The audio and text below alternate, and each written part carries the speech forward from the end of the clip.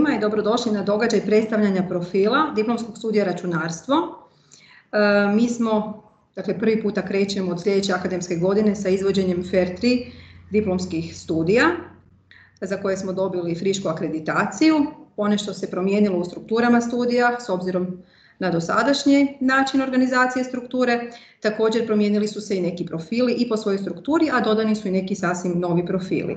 Jučer je bilo izlaganje vezano za studije EIT i IKT, a danas je to za računarstvo. Pa će se predstaviti profili redom, dakle abecednim e, za početak. Pozivam vas sve da u chat slobodno postavljate pitanja, da pitate sve što vas zanima. Osim toga u chatu sam vam stavila i e, linkove na odbore profila. Odbori profila sastoje se od ljudi koji se brinu o pojedinom profilu, donose odluke o pojedinom profilu i mogu vam zasigurno odgovoriti na vaša pitanja. Također sam vam stavila i kontakt listu sa mailovima gdje možete danas i ovih dana dobiti brzo povratne informacije o svemu što vas za te profile zanima. Evo sad ću vam pokazati te ekrančiće.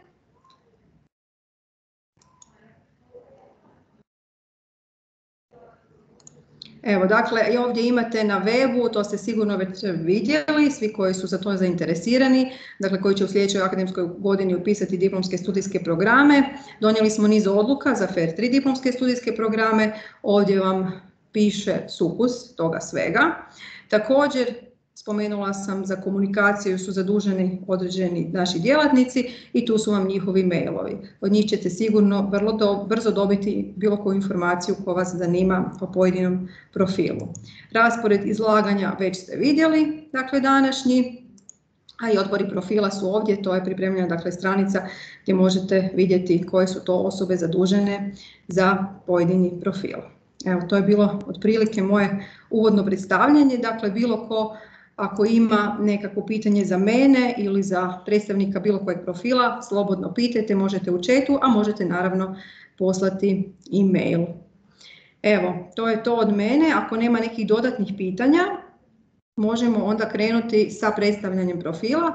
Prvi profil na redu, programsko inženjerstvo i informacijski sustavi. E, taj profil predstavljat će nam naš izvanredni profesor Boris Milaširović. Boris, izvoli. hvala, samo dok ja podijelim prezentaciju pa onda ćemo krenuti. evo, tu nadam se da se vidi. Još ne, evo, vidi se sad, odlično. odlično, ok. Dobro, e, ja ću zapravo umjesto e, formalne definicije programskog inženjerstva, dakle da to ne bude suhoparno, malo krenuti od, priče zapravo kako nastaje software. Dakle, da li se tu radi o nekom zanatu ili inženjerstvu, rekao bi da bi trebalo se raditi u inženjerstvu. Dakle, kuću nećete početi slagati tako da krenete slagati cigle, a da zapravo nemate nekakav plan kako bi ta kuća trebala izgledati, kako ćete recimo nadgledati to, da ne znate ništa o materijalima, dakle da ne nemate nikakve tehnike prakse i tako dalje. Nažalost, u zemlji sa jedno 4 milijuna nogometnih izbornika, isto toliko epidemiologa, imate vrlo vjerojatan broj ljudi koji rade software i koji znaju sve o tome, naravno. E sad, naravno, software može nastati bez da znate išta o programskom inženjerstvu, kako takav software izgleda, mogli smo vidjeti proteklih mjesec ili dva kad se po novinama razvlačilo sve i svašta. A stvar je u tome da je to disciplina koja postoji više od 50 godina. Dakle, programsko inženjerstvo svoj početak veže uz 1968. godinu i NATO-ove konferencije iz područja softverskog inženjerstva, a prvi ili prva osoba koja se nazvala programskim inženjerom je bila gospođa Margaret Hamilton 1963. godine. Dakle, ona je prvi softverski inženjer na svijetu. Dakle, imamo disciplinu koja je 50 godina stara i valjda nešto zna o tom pravljenju softvera. Dakle, mi kad radimo nekakav informacijski sustav, a on bi trebao poslužiti kao slika segmenta stvarnog svijeta u području informacija, njegova uspješnost mjeri se zadovoljstvom i prihvaćenošću od onih kojima je namijenjen. I mnogi sustavi su propali ili su bili odbačeni jer su se izvođači trudili napraviti lijepa programska rješenja, a zapravo nisu razumjeli suštinu organizacije i poslovanja. I za takvu stvar obično postoji jedna šaljiva ovaj, karikatura takozvana ljuljačka programskog inženjerstva u kojem vidimo da zapravo u svakom koraku je dolazilo em do igranja gluhog telefona do nekakvih drugih stvari koje su zapravo od one početne ideje korisnika zapravo proizveli nešto sasvim deseto. I da se to ne bi događalo i da ne bi projekti propadali, zapravo time se, bave, time se bavi programsko inženjerstvo i informacijski sustav. E sad, što nas čini drugačijima? Što nas čini drugačijima kao programske inženjere i što nas čini drugačije kao sam smjer koji se bavi time, dakle programsko inženjerstvo i informacijski sustav. Ono što bih rekao da je ključna stvar, da umjesto fokusiranja na pojedinu nišu gradimo sveobuhvatne sustave. Dakle, nismo fokusirani na pojedini dio i moramo znati zapravo svaki dio, svaki aspekt softvera jako dobro i onda ih trebamo integrirati i orkestrirati u svim slojevima i u svim, svim različitim načinima primjene. Dakle, ovdje su u natuknicama navedeni nekakvi poznati projekti koje su, koji su bili rađeni od strane Zavoda za primjenu računarstva i nekih drugih zavoda na, na ovom fakultetu iz domene informacijskih sustava, recimo kao što je informacijski sustav visokih učilišta, dakle sustav prijave za visoka učilišta i državne mature, Flora Croatica Database koja je baza hrvatske flore, onda svi vjerojatno znate da li ga volili ili ne volili za Edgar, sustav ispitivanja i tako dalje. Dakle, to su sve različiti sustavi potpuno različitih domena primjene i zapravo ima ih takvih još mnogih koji, tko su nam zapravo korisnici ili tko su vaši korisnici iz svih domena i ono što vas mora činiti drugačijim u, odnosu na ostale, da znate zapravo vladati korisnikovom domenom, da znate razumjeti i tuđe područje i da jako dobro poznajete vlastite stvari. Ne pojedinu nišu, ne da se samo eksperti u jednoj stvari, nego da ste zapravo eksperti u svemu, odnosno eksperti u integraciji i poznavanju svega što imate. Koja su nam područja primjene? Praktično nove teme i nova područja otvaraju se gotovo svakodnevno. Dakle, ovdje je nekakav niz natuknica tehnologija koje su izrasle kroz nekoliko godina kao što su mikroservisi, računarstvo u oblaku, progresivne web aplikacije i tako dalje. Dakle, naprosto je nemoguće predvidjeti što nam nosi budućnost. Dakle, svaka od tih tehnologija dolazi odlazi, nastaju nekakve nove i ono što nas čeka u budućnosti je zapravo nešto što ne znamo, ali odgojit ćemo vas ili učite da budete spremni za takve promjene, a ta promjena i ta nova područja stalno nastaju. Prema tome, područje nam je stalno zanimljivo jer uvijek imamo nešto novo. Koje zapravo znanja i vještine morate posjedovati? Dakle, trebali bi, ili nakon studija bi trebali znati ili značete planirati projektirati arhitekturu i upravljati razvojem informacijskog sustava recimo modelirati i optimirati složene sustave elektroničkog poslovanja, projektirati, implementirati i upravljati baze, bazama podataka, projektirati i izraditi aplikacije za potrebe klijenata, pri čemu, kao što sam već rekao, tih klijenata stvarno ima i svih domena, prema tome nije da ste orijentirani na, na samo tehnološki potkovane korisnike, dakle nego na one korisnike koji trebaju software, a da zapravo o računarstvu ne znaju ništa, pa ih još usput i trebate malo navesti da da, da vam kažu lijepim riječima to što hoće, odnosno da razumijete njihove stvari. Ono što se podrazumijeva kao nekakve vještine koje dijelom dio možete možda usvojiti ili poboljšati, a dio trebate imati nekako urođene, to su kreativnost, radoznalost, dakle da vas zanima kako nešto radi, dakle da nije samo stvar zašto to, da nije samo stvar da nešto radi, nego da vas zanima zašto radi, kako radi, što bi se dogodilo kad bi se nešto promijenilo. Trebate imati analitičko i kritičko mišljenje, komunikativnost, kooperativnost, spremnost prihvaćanja novih paradigmi, timski rad i tako dalje. Dakle, mnoštvo tih stvari koje se jednostavno e, isprepliču i nužne su u ovoj e, domeni. Ja? E sad, u kojem odnosu su, na primjer, e, inženjerstvo, posebice programsko inženjerstvo, sa nekim drugim stvarima? Postoji, nažalost, jedna e, jedna pojava da, da se inženjerstvo smatra kao možda dijelom znanosti ili, ili praktičnom primjenom znanosti. Ovdje valja istaknuti dvije dobre izjave, odnosno jednu izjavu koja kaže da inženjer uči da bi mogao nešto izgraditi, a znanstvenik to radi obrnuto, dakle gradi da bi mogao proučavati takvu pojavu. I druga zapravo jedan dobar članak u, u ACM-u iz kojeg je izvađen ovaj naslov s desne strane Engineering has been marginalized i e, isječak iz tog članka koji zapravo u svom zaključku e, završava sa jednom vrlo efektnom rečenicom koja kaže da e, brak znanosti inženjerstva je kritičan i zapravo bitan za održavanje zdravlja ovog područja.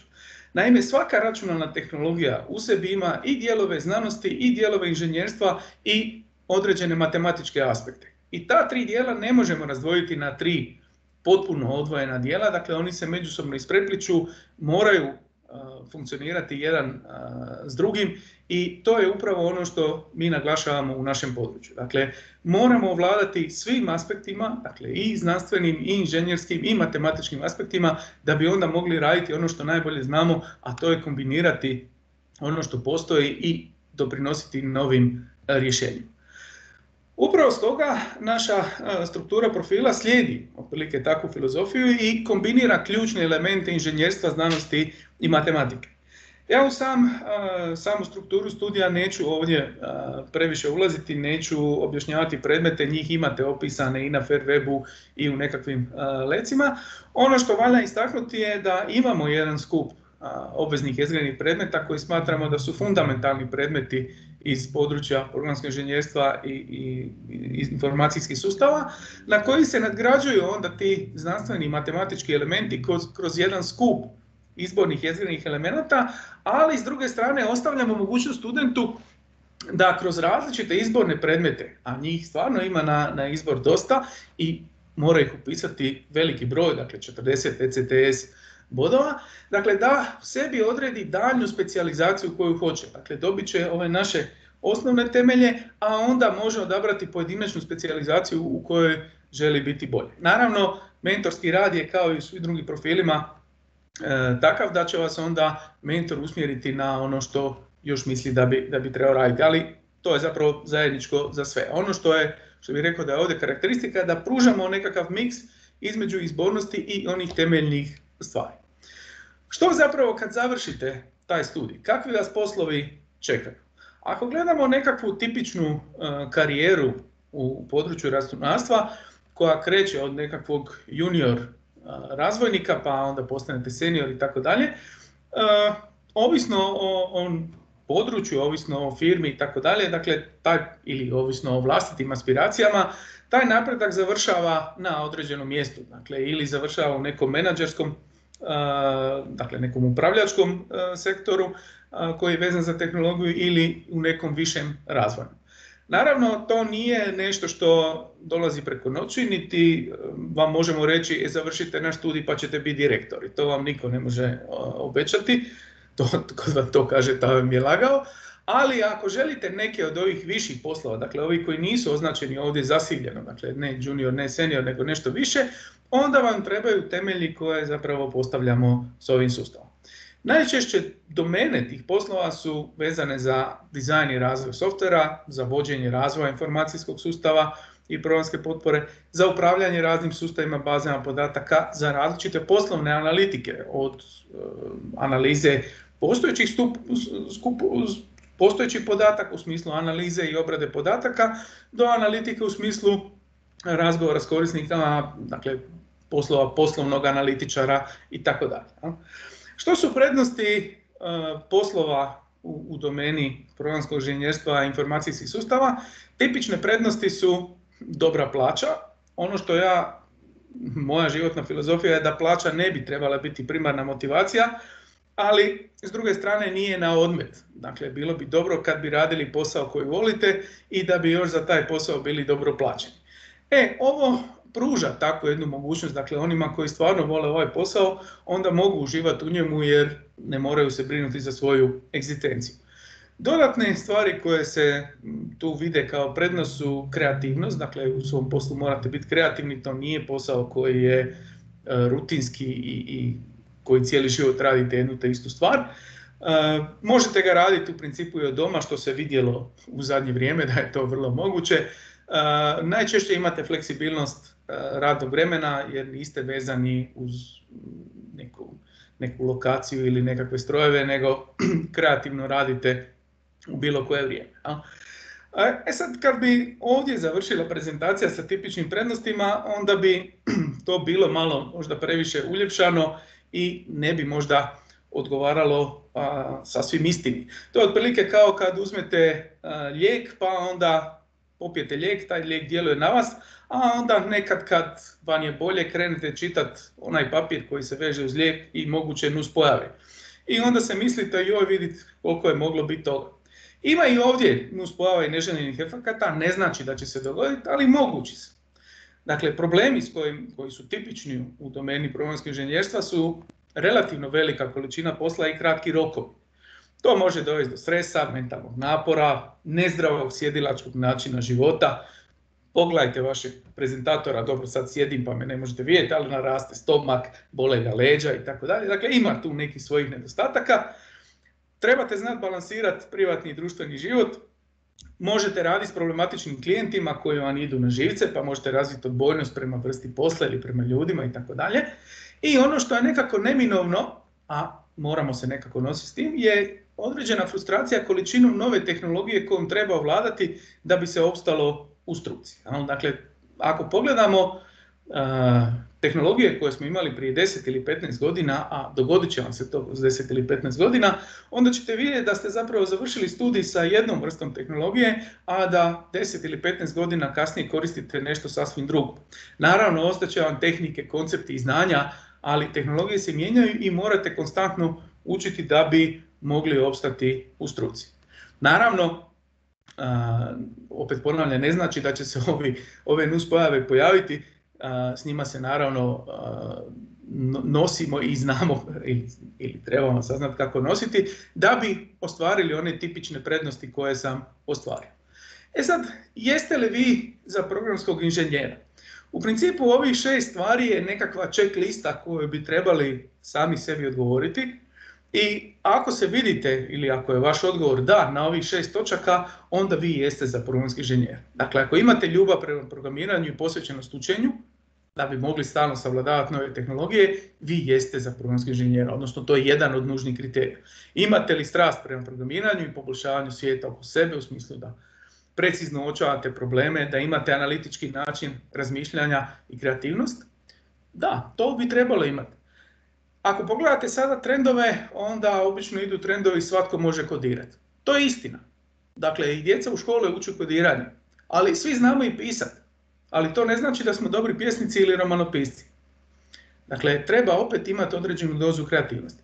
Trebate biti temeljiti i posvećeni detaljima, jer ako nešto ne radi ili ako ste nemarni, onda to dovodi do grešaka u softveru. Neispravan softver onda izaziva frustracije kod korisnika i gubitak prihoda. Morate biti marljivi i ustrajni. Nema jedne kuharice koja se slijepo slijedi. Uvijek treba tražiti nekakav put i tražiti novo rješenje. I naravno, još jedna bitna stavka koju ne smijem zamariti, trebate imati određene socijalne vještine. Trebate znati raditi u timu, trebate znati prezentirati ono što radite, trebate imati sposobnost pisanog izražavanja i razumijevanja korisnikovog jezika i biti spremni na pomoć i poduku drugim. I ako zadovoljavate ovih šest uvjeta, vi ste kandidat za naš smjer. Eto, s time bih ja završio, dakle nisam htio namjerno završiti sa onim tipičnim prednostima jer su to obećanja koja imate, nego ovih šest kriterija, ako se ovdje prepoznajete, dobrodošli. Eto, s tim bih ja završio. Hvala Boris, bilo je vrlo zanimljivo. Sad smo svjesni na neke opasnosti i mi koji već radimo u ovom području, jeli, da se malo više bacimo na sport recimo i tako dalje. E, dakle, hvala lijepo. E, pitanja, dakle, slobodno pišite studenti u chat, e, sigurno će vam predstavnici naših profila odgovarati ili kogod će, dakle, znati odgovore na pitanja. Slobodno, a sada će nam se predstaviti profil računalno inženjerstvo i naš docent Daniel Hoffman. Daniel, izvoli. Dobar dan, Lijep pozdrav svima. Evo sam trenutak da podijelim ekran, tako da svi vidite prezentaciju. Ustavljam sebe. O, dobro je. Sad vidim prezentaciju. Dobro je. Odlično. Vidite i prezentaciju. Dobar dan, drage kolegice, dragi kolege. E, u ovoj kratkoj prezentaciji ću vam predstaviti profil računalno inženjerstvo. Pa da krenemo odmah sa glavnom tematikom. Dakle, ono što zapravo računalno inženjerstvo radi je dajem određeno cjeloviti pogled na softverski i hardverski dio računalnih sustava. Znači gleda i programske i sklopovske aspekte. Ovdje možete vidjeti različite primjere gdje se to primjenjuje. Znači imate mnoge uređaje koje koristite, počevši od mobitela, od televizora, od možda automobila, tramvaja i slično. Svugdje se koriste razni dijelovi koje ćete vi dublje naučiti u računalnom inženjerstvu.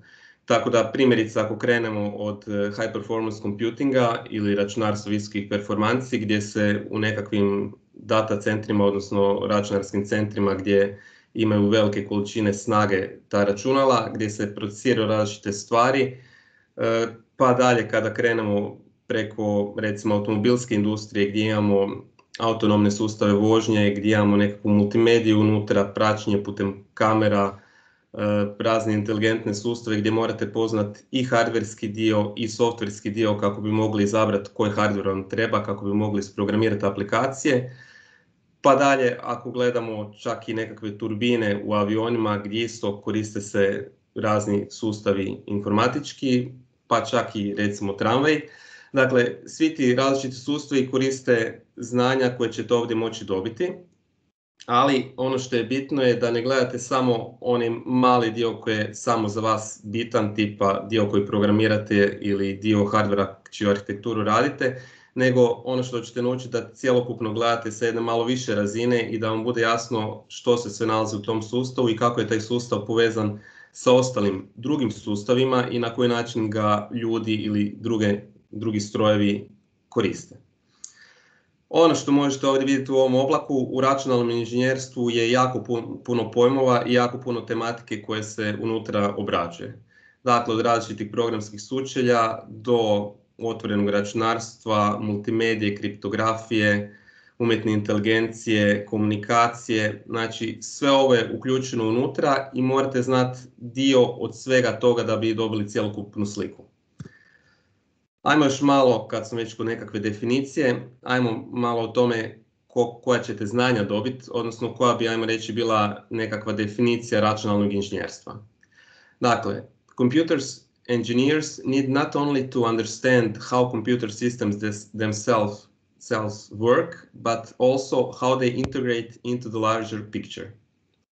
To je onaj bit kojom zapravo želimo reći da pogledate što god da radite u vašem životu vezano za programiranje ili što god ćete raditi, da pogledate i cjelokupnu sliku kako će to biti spojeno sa svim ostalim dijelovima drugih sustava, kako bi mogli napraviti optimalno rješenje koje će biti maksimalno efikasno i koje će stvarno raditi onu svrhu koju bi trebalo raditi. Znanja koja se dobivaju su vezana za građu računalnih sustava, Dakle, počnemo od nekakve arhitekture procesora, računala, nekakvih vanjskih uređaja, nekih programabilnih sklopova, načina kako se povezuju komponente u sustavu, kako umrežujemo sustav i slično, pa do programske podrške i niske i visoke razine. Znači od nekog strojnog jezika assemblera kojeg ste radili na arhitekturi računala, pa do nekih viših jezika, do optimizacijskih e, nekih dijelova gdje pomažete da vam program zapravo optimalno radi na hardveru kojeg imate, pa ćete možda raditi nekakvu obradu signala, umjetnu inteligenciju ili bilo koje od tih dijelova. U svakom slučaju dobit ćete osnovne, a i detaljnije uvide i u građu hardvera i u softverski dio, odnosno programsku podršku.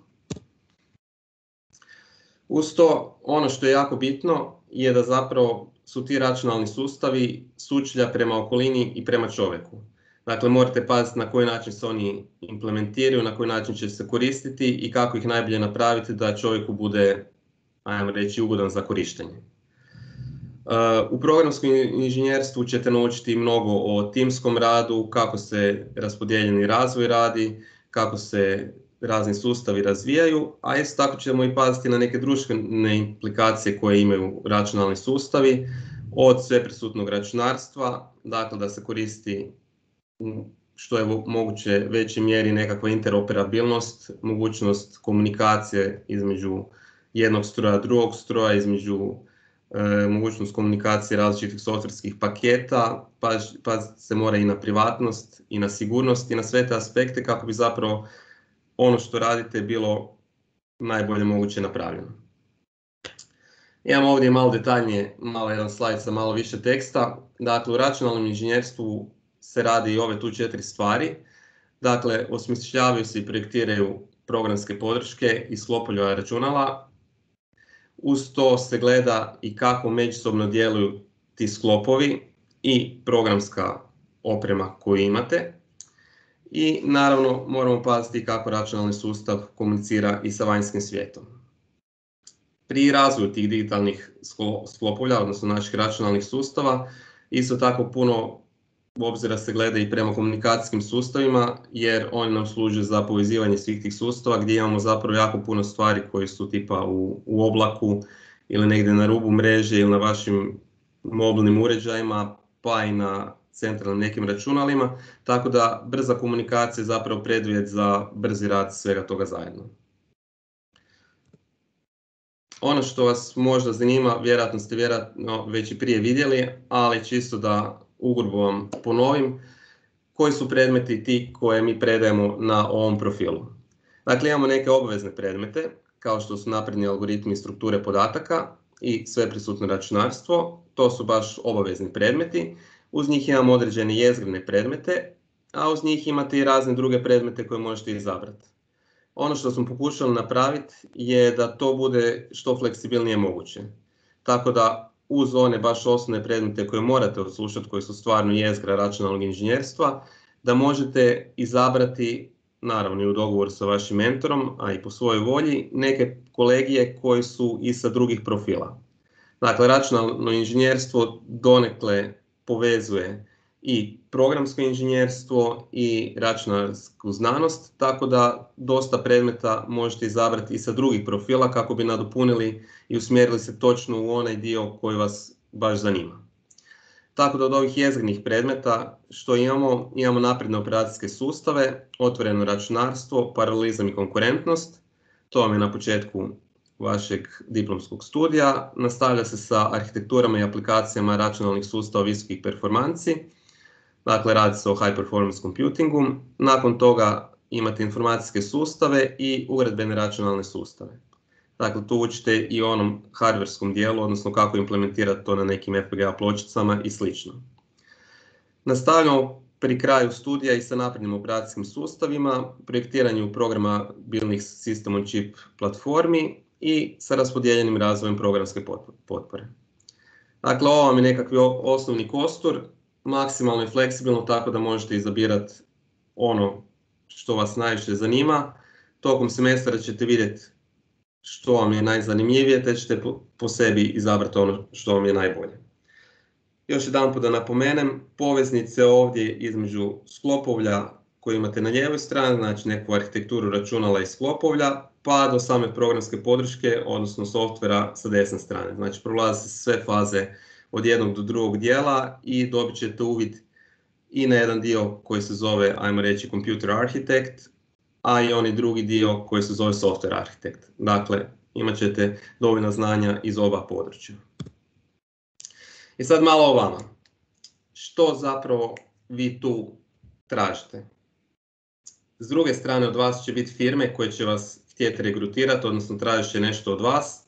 Ovo je jedan od primjera oglasa gdje firma na jedan malo zanimljiviji način se predstavlja i piše svoj broj telefona pomoću neke matematičke formule, tako da vas ipak malo nagovori da dodatno razmislite kako da ih nazovete, odnosno da saznate njihov broj telefona. Ono što je sigurno, u trenutku kad završite fakultet, a vjerojatno i ranije, ćete već imati nekakve poslovne ponude, odnosno ponudit će vam poslove i moći ćete već krenuti odmah raditi. Mnogi od vas će već početi raditi za vrijeme fakulteta.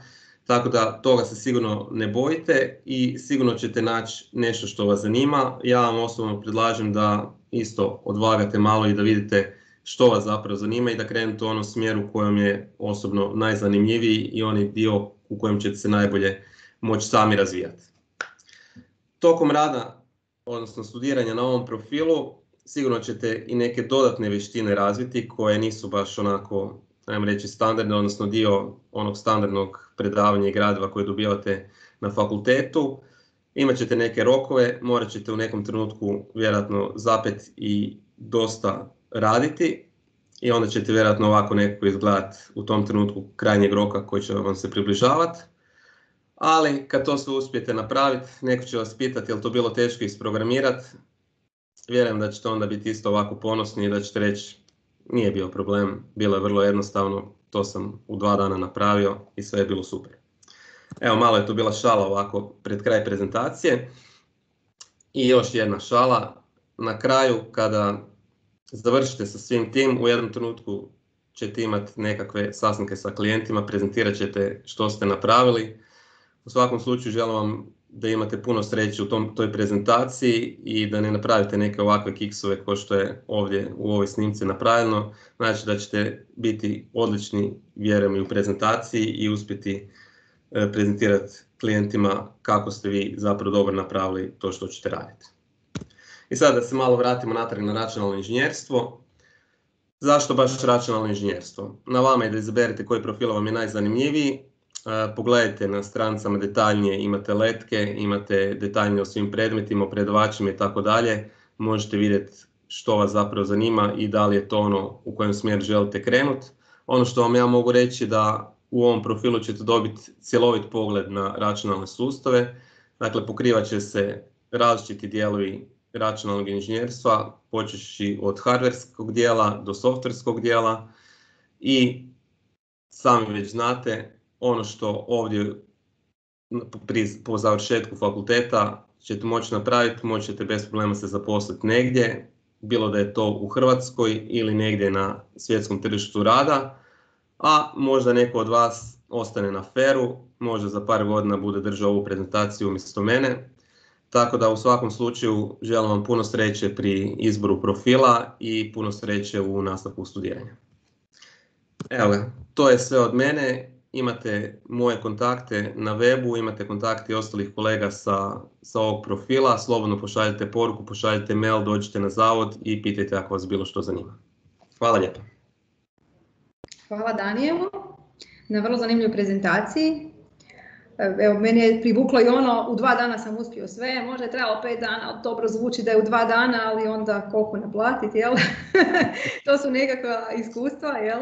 Koja ćete sigurno steći kroz godine. E, ja vas također pozivam, osim da u chat postavljate pitanja, e, da pogledate strukture studija, e, nove strukture FR3 studija su detaljno opisane, imate slotove obaveznih predmeta, predmeta koje ste već mogli odslušati na prediplomskoj razini, izbornih predmeta profila i slobodnih izbornih predmeta. Također su nam tu i transverzalni predmeti i mentorski vođeni predmeti, pa to svakako pogledajte. Mentor je tu svakako važan, kao što je Daniel napomenuo, dakle u suglasju s njim ćete onda upisivati i usmjeravati se dakle, na profilu, bilo koji dakle, profil da upišete, jako je važno i važni su savjeti mentora. Evo, to je onda to, dakle, za e, računalno inženjerstvo. A sad nam slijedi računalno modeliranje u inženjerstvu i imamo tu dva predstavnika, jel da, izvanrednog profesora Sašu Ilića i našeg Marija Bukala, docenta. Evo, dobro nam došli i izvolite. Još se ne čujemo. Zaboravio sam isključiti, to pardon, uključiti. Dobar dan, lijepi pozdrav svima. Dakle, moje ime je Mario Bukal i skupa sa kolegama, profesorom Bojanom Trkuljom i profesorom Sašom Iglićem pokušat ću vam prezentirati novi profil, dakle računalno modeliranje u inženjerstvu. Ja ću držati prezentaciju, a profesori Trkulja i Ilić su dostupni na chatu ako imate bilo kakva pitanja, dakle slobodno im se obratite. Evo samo da podijelim e, prezentaciju. E, samo malo, PowerPoint.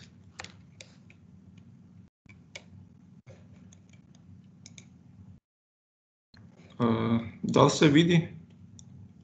Još se ne vidi.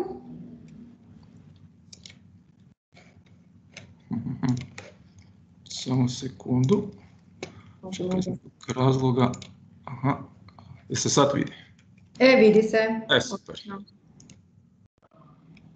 Ajmo onda krenuti iz početka. Ok, dakle, računalno modeliranje u inženjerstvu, možda najbolje da krenemo od samog pojma, dakle što bi, što bi to bilo. Dakle, računalno modeliranje je, možemo to reći, nekakva inženjerska disciplina, jer smo ovdje prvenstveno fokusirani na inženjerske probleme, koja je, koja dakle, objedinjuje matematičko inženjerskih problema, ali ne samo inženjerskih, nego i znanstvenih i pa čak i društvenih s jedne strane i računarske metode koje on, kojima onda dakle, dobivene računalne modele. Sinonimi, odmah da ih, da ih napomenem, dakle možda su neki čuli već neke druge nazive, dakle u hrvatskom bi to bili računalne simulacije, a u engleskom ih ima više, dakle to je computational modeling, computer simulation, computational science and engineering. Razlog zbog kojih možda još uvijek ima više dakle, tih sinonima, vjerojatno leži u tome što, je, što se radi o području koje se izuzetno brzo razvija zadnjih 30 godina, zahvaljujući ubrzanom razvoju dakle, procesorske snage dakle, računala i razvojem dakle, općenito dakle, i hardverske onda, dakle, snage računala. Pa dakle, imamo mogućnosti simulirati stvari koje, koje, koje prije nije bilo moguće zapravo računati. Često se još spominje pojam dakle, da, je, da su računalno modeliranje, odnosno računalne simulacije, takozvani treći stup znanosti. Dakle, uz ona osnovna dva stupa, teoriju i eksperiment, tu su i dakle, simulacije. Dakle, one su tu zbog, zbog svoje važnosti i vidjet ćemo kasnije, dakle, one u današnje vrijeme predstavljaju, pa možemo čak reći, pokretačku snagu razvoja i istraživanja, a i tehnologije. Okay.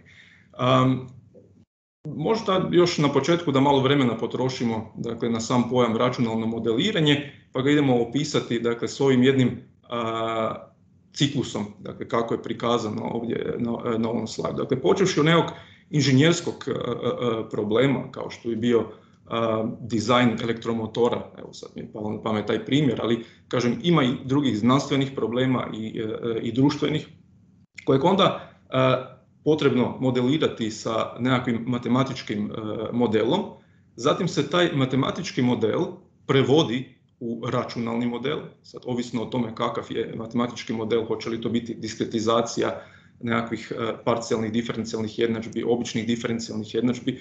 Uglavnom, jednom kad se dobije računalni model, onda stvar postaje računarska, e, da tako kažemo, računarski problem, kako računalni model riješiti.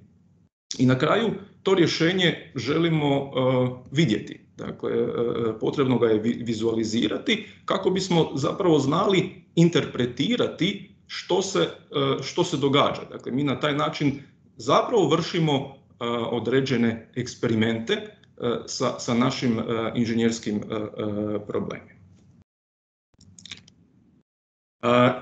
Idemo još malo o dakle, društvenom i tehnološkom značaju računalnih simulacija. Dakle, ono što sam već rekao malo prije, dakle, one su, možemo reći, u temelju razvoja moderne tehnologije, na primjer današnja autoindustrija, nanotehnologija, pa čak i obnovljivi izvori energije i brojne primjene koje ste, ako ste slušali jučerašnja izlaganja, imali prilike čuti, one su zapravo, e, e, u njima potrebne, potrebne su simulacije. Sad zašto? E, u principu simulacije su jeftina zamjena nekakvih skupocjenih prototipova, provođenja dugotrajnih optimizacijskih procesa u dizajnu dakle, određenog određenog inženjerskog proizvoda. Međutim, one su izuzetno važne i u primjenama gdje, dakle još većeg značaja su u, primjenama gdje zapravo eksperimente nije moguće provesti. Na primjer, ako želite izgraditi aerodrom, stadion i tako dalje, onda je potrebno osigurati takav, dakle, takvu strukturu da, da nije moguće doći do, do stampeda i, i onda neželjenih naravno ishoda stampeda, što imali smo nažalost prilike nedavno čuti što se dogodilo bilo u Izraelu, pa se kasnije bilo ispostavilo da su zapravo neki, neki izlazi bili blokirani. Ako pogledate ovdje, na primjer, sliku, sliku B, ona prikazuje dakle, jednu simulaciju evakuacije kroz ovaj uski, uski izlaz. I sad ako nema nikakve prepreke, vjera dolazi do velikog pritiska i nažalost velika je vjerojatnost da će određeni, da određeni broj ljudi poginuti zbog toga.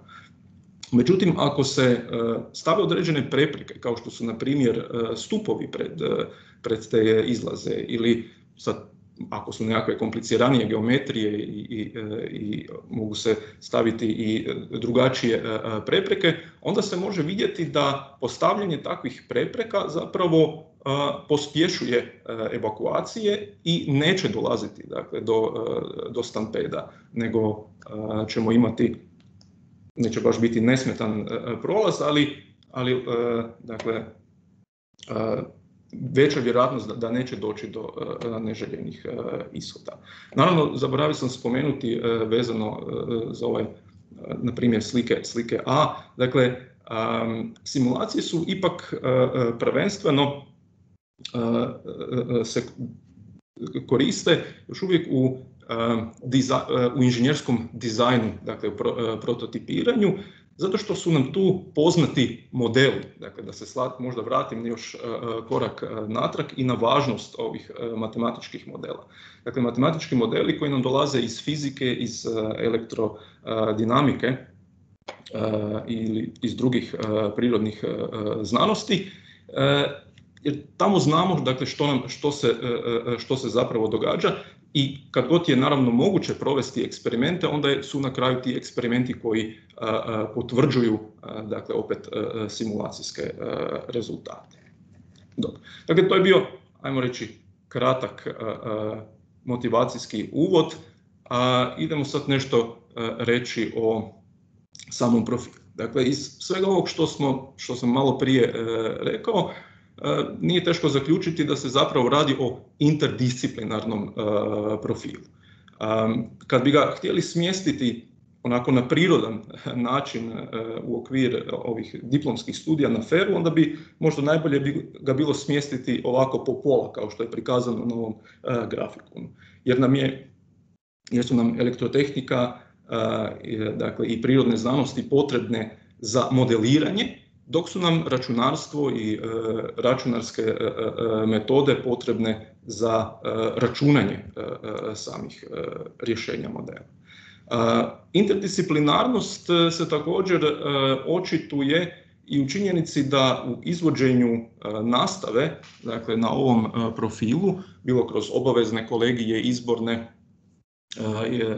odnosno jezgrene, odnosno izborne e, e, predmete profila sudjeluju nastavnici sa čak sedam zavoda ovog fakulteta, da ih sad sve redom ne nabrajam. Nadam se da nisam nikoga zaboravio, dakle to sam jučer prolazeći po, po, po imenima uspio doći do, do ovog podatka.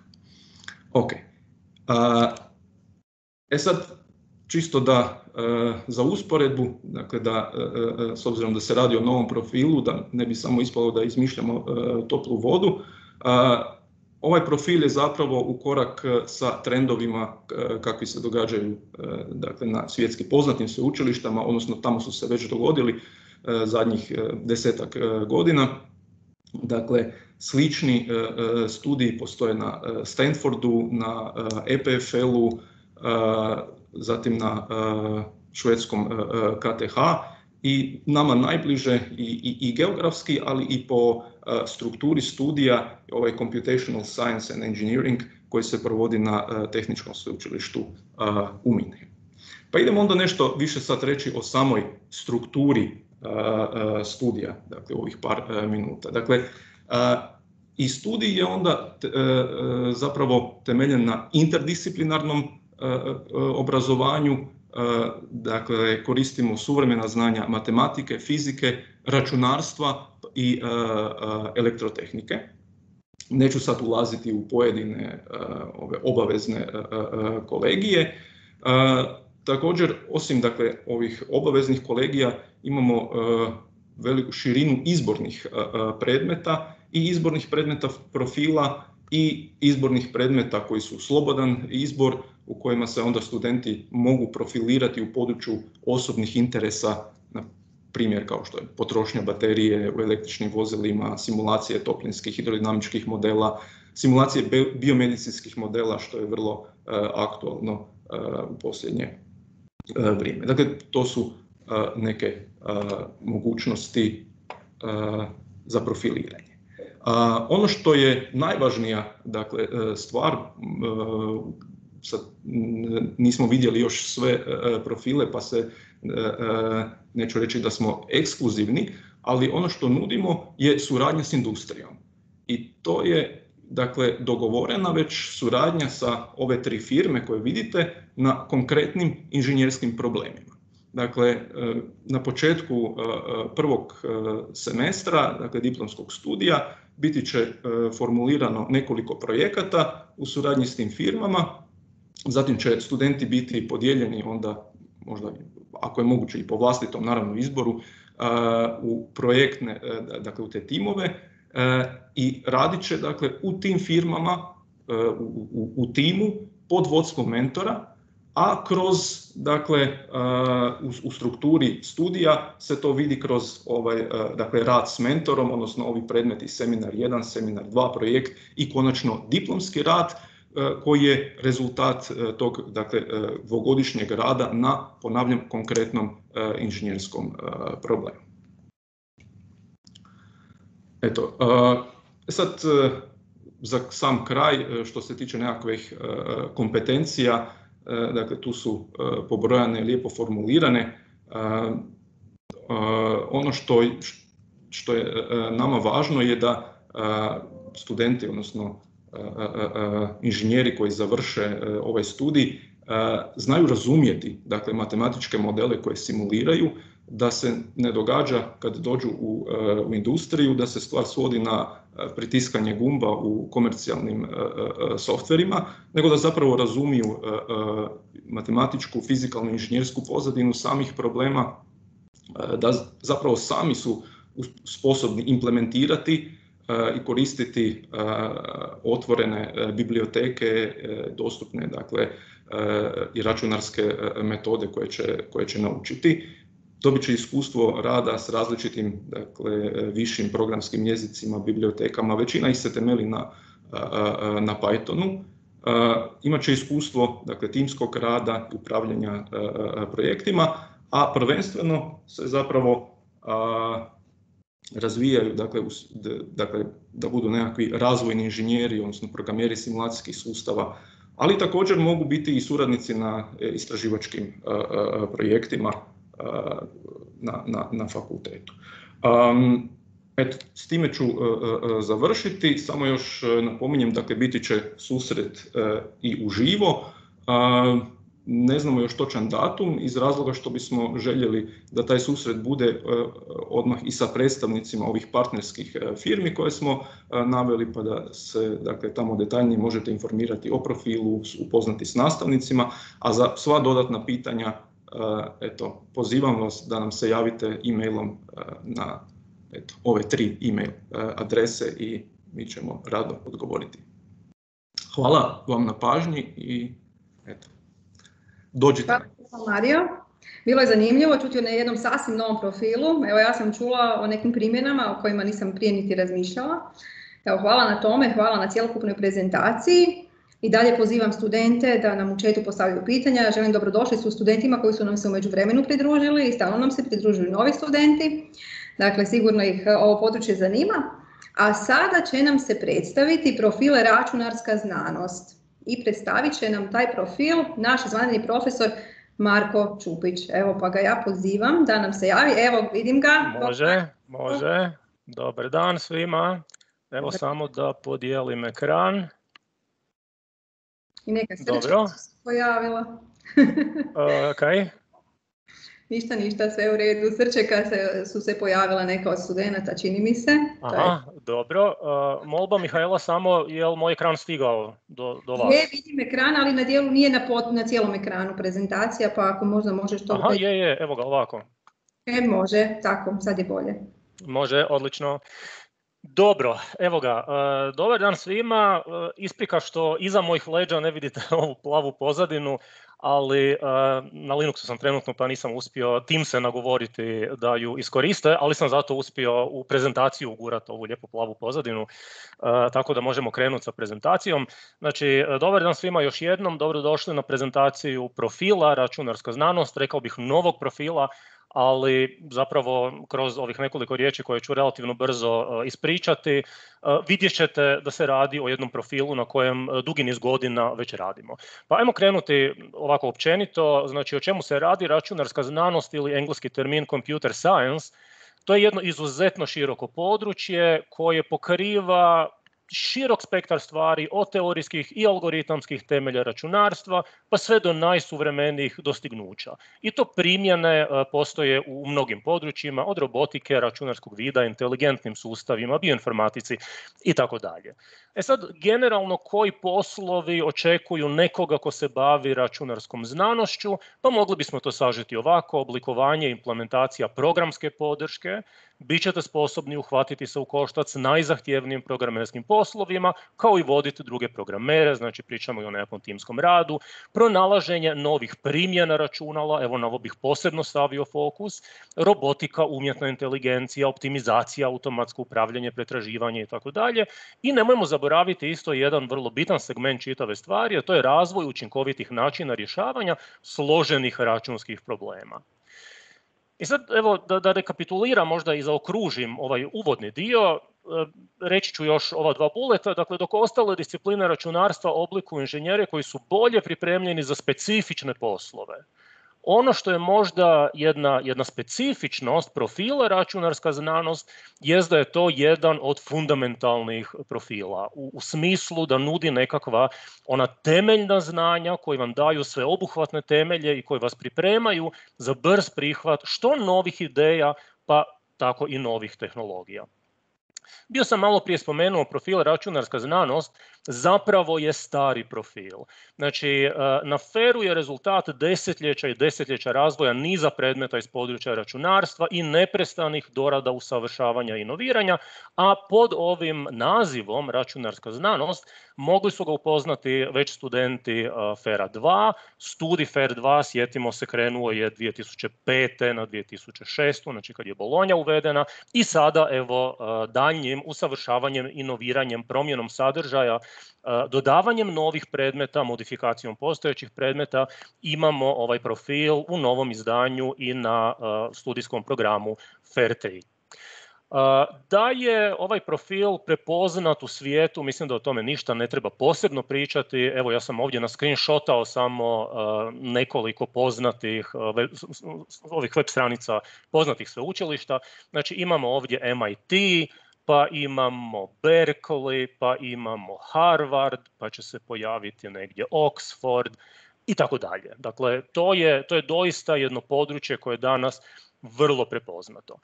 I sad mogli biste se pitati, ok, dobro, što je ta računarska znanost? Studenti mi često znaju doći, ono, ajde reći ovako u šali, preplašeni sa pitanjem, dobro, mene ne zanima, baš ja ne bi sad odmah pisao nekakve znanstvene radove. Jel?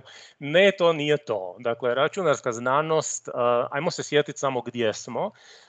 Znači, ovo o čemu trenutno pričamo je diplomski studij. Dakle, u okviru diplomskog studija vi još uvijek stečete, odnosno stičete nekakva fundamentalna znanja i učite se kako savladati ovo čitavo područje, od čega se područje sastoji, učite koncepte koji su vezani uz njega, učite tehnologije. Ako će vas dalje zanimati bavljenje znanošću, ok, sa nekim mentorima možda možete već započeti baviti se baš doista znanošću kao znanošću u smislu čitanja i pisanja nekakvih radova kroz projekte i kroz vaš diplomski rad, međutim računarska znanost to ne zahtijeva, dakle nije ideja diplomskog studija. U svakom slučaju ako ćete htjeti nastaviti dalje kroz doktorski studij, pa to je pravo mjesto onda da iskoristite sve ono što ćete e, naučiti kroz profil računarska znanost i da nastavite onda dalje baviti se vašim doktorskim istraživanjem. Pa kad me ljudi onda pitaju dobro što je zapravo računarska znanost, evo ja ću vam probati ovako odgovoriti kroz dva zapravo protupitanja. Pa ajmo ovako. Dakle, prvo pitanje kako uporabom računala riješiti one probleme koji su čovjeku trivialno rješivi, a za računalo izuzetno teški. I evo, dao sam ovdje jedan banalni primjer, kažete računalu, računalo je na ovoj slici moja mama? I sad je pitanje, ok, dobro, učili ste programirati, naučili ste C, naučili ste javu, objektnu paradigmu, odslušali algoritme i strukture podataka, palite vi vaš omiljeni ide u kojem programirate, dobro, void main, i šta sad?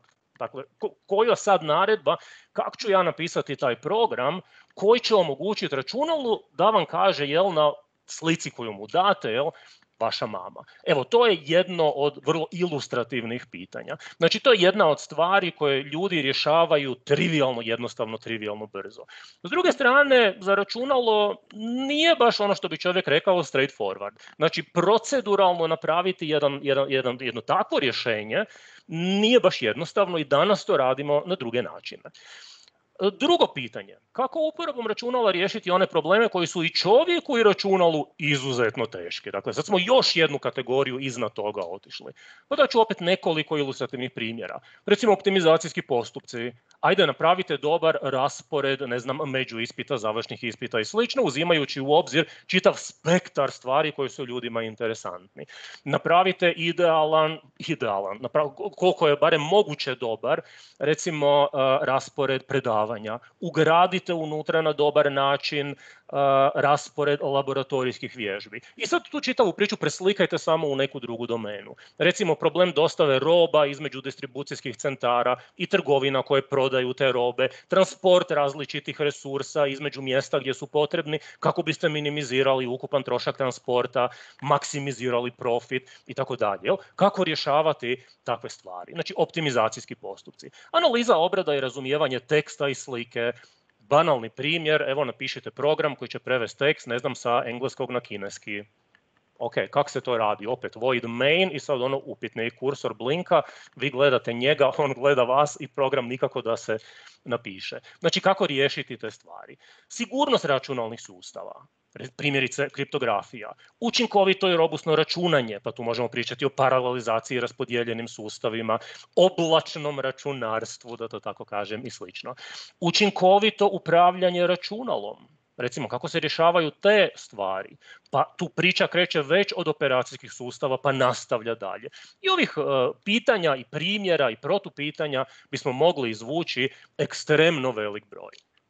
E sad daje ovo područje od fundamentalnog e, značaja zapravo za čitavo računarstvo, e, pokazuje činjenica da već i na prediplomskom studiju FERA 3 dotakli ste se ovog područja kroz niz predmeta. Pa ste tako odslušali i položili predmet operacijski sustavi, slušali ste predmet sigurnost računalnih sustava, slušali ste predmet uvod u umjetnu inteligenciju, gdje smo već jednim dijelom dali odgovore na neka od ovih pitanja, recimo barem kako započet onaj postupak rješavanja problema, računalo je li na ovoj slici moja mama. Kako nam izgleda struktura e, samog profila? Evo ovdje sam izvukao za prvi semestar, drugi semestar i treći semestar. Znači svaki od ovih stupaca je zapravo jedan od slotova koji treba popuniti. svi profili računarstva kao obavezno su imali zadano slušanje naprednih algoritama i struktura podataka, pa je takva situacija onda i kod nas na ovom profilu. Nakon toga prvi doista obavezan predmet koji je usko fokusiran na područje ovog profila je predmet strojno učenje 1. I ako ste me pažljivo slušali, s obzirom na ovu problematiku koju sam ispričao, s obzirom na ove fundamentalne stvari koje nas zanimaju, pa upravo strojno učenje 1 će biti jedan dobar predmet koji će nastaviti priču koju smo započeli kroz umjetnu inteligenciju, odnosno kroz predmet uvod u umjetnu inteligenciju i tu ćete čuti onda dosta informacija o tome kako počinjemo graditi takve sustave. Uz to imamo i jezgrene izborne predmete, znači to je ovaj treći ovdje stupac, gdje morate odabrati jedan od ovih predmeta i ovdje vidite imamo stvarno širok spektar predmeta koji se nude, ovisno o tome što će vas zanimati. Uz to postoji onda i niz izbornih predmeta smjera, izbornih predmeta, seminar se sluša, transfezarne predmete imamo i tako dalje. Struktura profila drugi semestar, obavezan predmet, opet paralelno programiranje. Dakle, svi ćete ga morati odslušati, položiti, dobiti informaciju i naučiti kako iskoristiti mogućnosti koje nam danas hardware stvarno stavlja na raspolaganje. I nakon toga opet birate od jezgrenih izbornih predmeta i zatim imamo opet izborne predmete, smjera izborne predmete, seminare i tako dalje. Ovdje u ovim jezgrenim izbornim predmetima vidite recimo vrlo interesantne predmete, analiza velikih skupova podataka, duboko učenje, duboki modeli, duboke neuronske mreže, danas vrlo interesantno područje. Predmet smo uveli za ovaj profil prije nekoliko godina i od tada se neprestano radi na njemu i usavršava ga se. Ovdje ćete vidjeti na popisu interaktivnu računalnu grafiku, osvrnut ću se na nju vrlo kratko, iz jednostavnog razloga što mogli ste ju već odslušati i na prediplomskom studiju ovdje na trećoj godini, kao i oblikovne obrazce u programiranju. S obzirom na značaj tih područja, već smo ih tamo ponudili da ih možete tamo odslušati. Ako niste, opet imate priliku odslušati to ovdje na diplomskom studiju. Konačno, treći semestar donosi opet svoj niz predmeta, ovih jezgrenih predmeta. Jedan trebate odabrati i onda imate opet dalje izuzetno veliku izbornost. Kratak osvrt samo na interaktivnu računalnu grafiku. Sad, zašto? Zato što ovo područje je vrlo, vrlo interesantno područje koje se bavi što vizualizacijom, što simulacijom recimo 3D svjetova. Znači kako napraviti vizualizaciju 3D scene na dvodimenzijskom zaslonu, jer to je ono u što i vi trenutno gledate. Zatim kako radi grafička kartica, kako, kako se radi obrada svih grafičkih primitiva sa nizom ovih stvari koje su ovdje navedene. Kako programirati sjenčare vrhova, kako programirati sjenčare fragmenata, što je WebGL, recimo to su sve interesantna pitanja koje ovdje imamo. Uh, užasno puno matematike, puno linearne algebre, puno kompleksnih brojeva, ali to je zapravo nešto što je zajedničko za čitavu računarsku znanost. I sad evo jedna stvarna anegdota, recimo jedan od laboratorijskih zadataka koje nudimo na predmetu, koji se može odabrati, znači nudimo nekoliko opcija, isprogramirati algoritam praćenja zrake i scena je ovdje prikazana. Znači vidite, htjeli bismo dobiti ovo kao konačni rezultat. Što se dogodi, dakle stvarno se dogodilo, evo nađe se student kojem se ovo područje jako dopadne, čovjek se malo zaigra, uloži masu vremena, doradi čitavu scenu i na labosima preda ja mogu reći samo kad sam ovo vidio, ono bilo je paf, rekao srećom pa sjedim. Znači, stvari su vrlo interesantne, koga zanima, slobodno dođite. Od izbornih predmeta imamo niz vrlo interesantnih predmeta u prvom semestru, u drugom semestru, u trećem semestru. Ovdje opet vidite da su predmeti usko fokusirani uz e, ona pitanja koja sam vam bio postavio, pa tako imamo meko računarstvo, neuronske mreže, operacijska istraživanja, optimiranje evolucijskim računanjem, računalnu animaciju, računalni vid, raspodijeljene glavne knjige, kriptovalute, sustavi za rad u stvarnom vremenu i tako dalje. I sad s obzirom na ograničeno vrijeme od samo 15 minuta, evo neću čitati dalje sve ove predmete. Znači, dostupni su na službenim stranicama na Fairwebu, pa slobodno pogledajte malo, bacite oko, znači izborni predmeti drugog, izborni predmeti trećeg semestra, dakle masa, masa vrlo interesantnih stvari. Ovdje ukratko samo opet fokus na dva temeljna pitanja koja nas zanimaju i koja razmatra ovaj profil. Pa ako razmišljate, ako važete, ok, je li ovo profil koji je za mene? Ako vas zanima pitanje zašto, recimo zašto je važno pristupam li matrici redak po redak ili stupac po stupac, zašto je moj programski sustav vrlo težak za modificiranje, zašto nakon paralelizacije nisam dobio očekivano ubrzanje i drugo fundamentalno pitanje kako. Kako dokazati da u mojem programskom sustavu nema pogrešaka? Kako pronaći prihvatljivo rješenje? Ako je prostor pretraživanja takav da za pretragu, trebamo, pazite brojke, 10 na 100 tu starosti svemira. Dakle, to, to ne ide klasičnim, ono, iscrpnim pretragama, kako rješavati takve probleme i niz drugih pitanja. Evo možda za kraj, kako napisati program koji će na slici prepoznati vašu mamu, kako u velikoj kolekciji dokumenata pronaći željeni dokument, pa su tu recimo danas aktualne neuronske reprezentacije riječi, grupiranje po sličnosti i tako dalje. Kakav je e, sentiment zapisan na news grupama, forumima, u pojedinim političkim strankama u posljednjih mjesec dana, o čemu govori neki tekst od 30 stranica, ono, imate super, super softver, ubacite nekakav tekst i kažete računalo sažmi mi to u deset rečenica, da ne moram ja to čitati. Jel? Kako napraviti takve stvari? Evo, ako vas to zanima, onda je profil računarska znanost pravi profil za vas. Evo, hvala lijepa na pažnji i toliko od mene. Hvala lijepa Marko, uvijek zanimljiv. I naš dakle, stari profil predstavljen.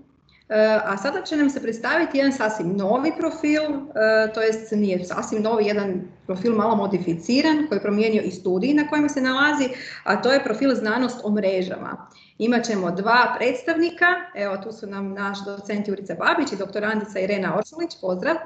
pozdrav. I je vaš, izvolite. Evo, samo trenutak. Evo, prezentaciju vidimo. Odlično. E, lijep pozdrav svima. E, moje ime je Irena Oršović, radim na Zavodu za telekomunikacije. Ovdje sa mnom je e, moj kolega sa Zavoda, docent Jurica Babić. I evo mi ćemo vam danas prezentirati profil znanost o mrežama i potencijalno vas približiti zapravo odgovoru na pitanje je li to nešto čime se vi želite baviti tokom diplomskog studija.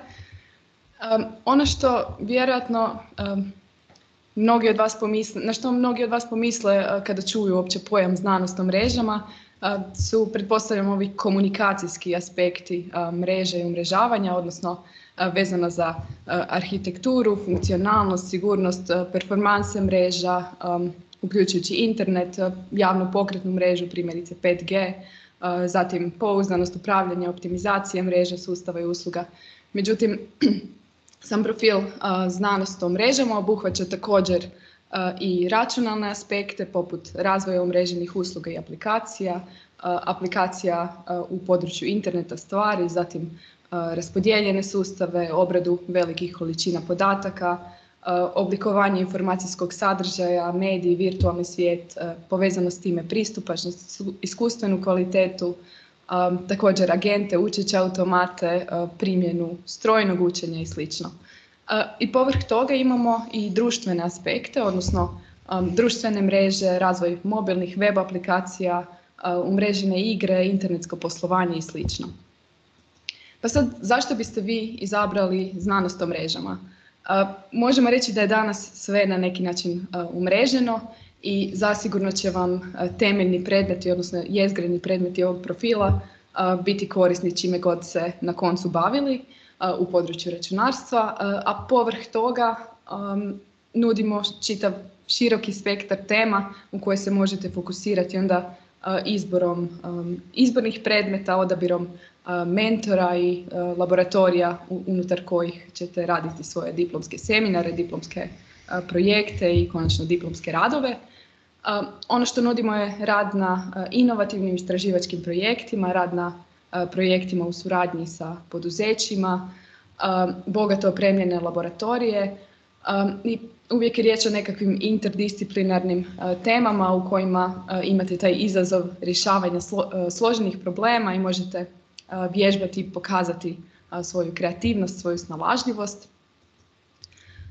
Shodno tome, zapravo u tom širokom spektru tema, Naši bivši studenti se bave vrlo različitim poslovima od razvoja umreženih usluga i aplikacija do dizajna umreženih sustava, bave se analizom podataka, poslovnom analitikom, također često primjenjuju i strojno učenje. Možete se zaposliti u velikim kompanijama iz ICT sektora, recimo pa srednjim i malim ICT tvrtkama. Također postoji mogućnost razvoja znanstvene karijere, odnosno upisa primjerice doktorskog studija i zaposlenja na, na feru. Nositelj ovog profila jest Zavod za telekomunikacije koji zapošljava 17 nastavnika u znanstveno-nastavnom zvanju, imamo 33 suradnika i asistenta, trenutno 14 aktivnih projekata, u posljednjih pet godina smo imali zaista velik broj završnih i diplomskih radova, što je neki pokazatelj zapravo da su nas studenti prepoznali i da rado biraju mentore upravo sa našeg zavoda. A djelujemo u sklopu sedam istraživačkih laboratorija. Hvala Irena na ovom uvodu. E, dakle, vezano za profil znanost o mrežama, radi se o rezultatu djelovanja sedam istraživačkih laboratorija FERA, više manje to su sve zapravo članovi Centra za umjetnu inteligenciju na FERu. I ovaj, u principu ideja je, kad ćete malo gledati strukturu našeg profila, vidjet ćete da ima nekoliko jezgrenih predmeta, nekoliko obaveznih predmeta, širok e, zapravo spektar izbornih predmeta. Međutim, osim toga vidjet ćete da je naglasak će biti stavljen na rad, na individualan rad, odnosno mentorski, mentorski rad kroz seminar 1, seminar 2, projekti, diplomski rad. I onda sukladno tome e, kada birate profil općenito studij, razmišljate o tome da je ipak malo drugačije odnosno na preddiplomski studij, u smislu da ćete se, da želite pronaći svoje mjesto pod suncem, odnosno da pronađete nekakvo područje istraživanja kojim ćete se baviti u naredne dvije godine. S obzirom na to da naši laboratoriji su zapravo predložili ovaj profil, možda ima smisla da se mi malo na brzinu prošećemo kroz te laboratorije kako bismo vam malo približili čime se oni bave, ali iz toga zapravo slijede i predmeti i istraživačke teme kojima se možete baviti. Dakle, prvi laboratorij kojeg ćemo izdvojiti je svakako laboratorij ICT AAC.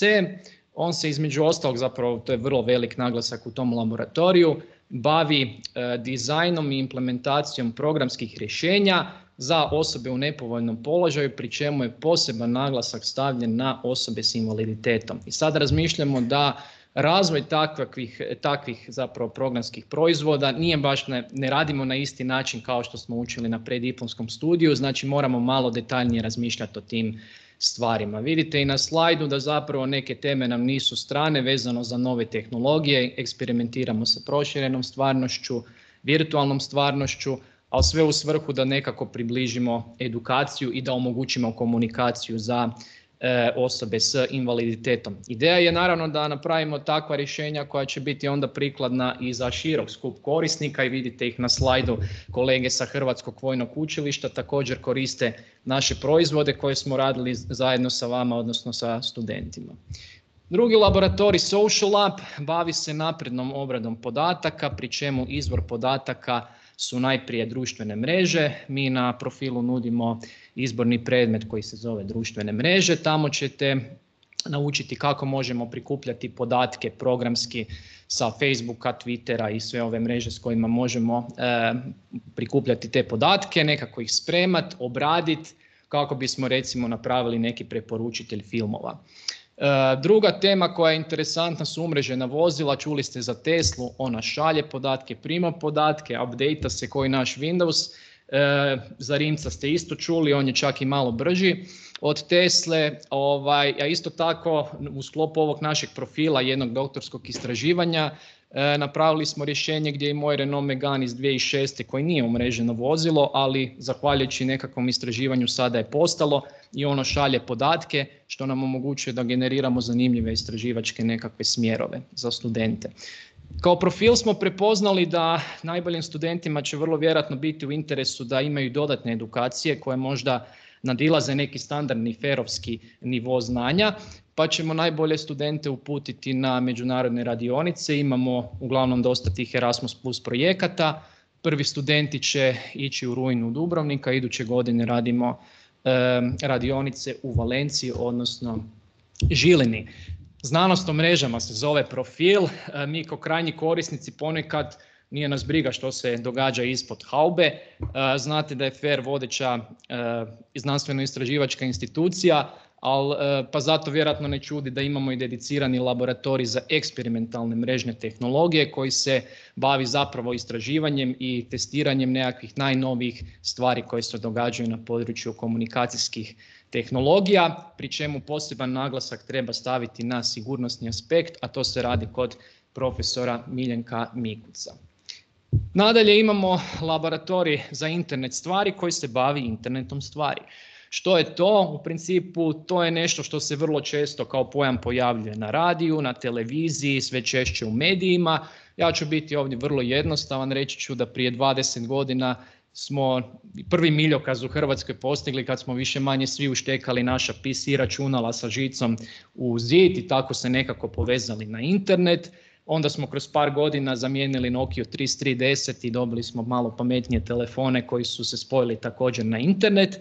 I mislili smo kao krajnji korisnici da je to to sve do trenutka kada smo zapravo, kada su nam počeli prodavati pametne frižidere, pametne mikrovalne i slično.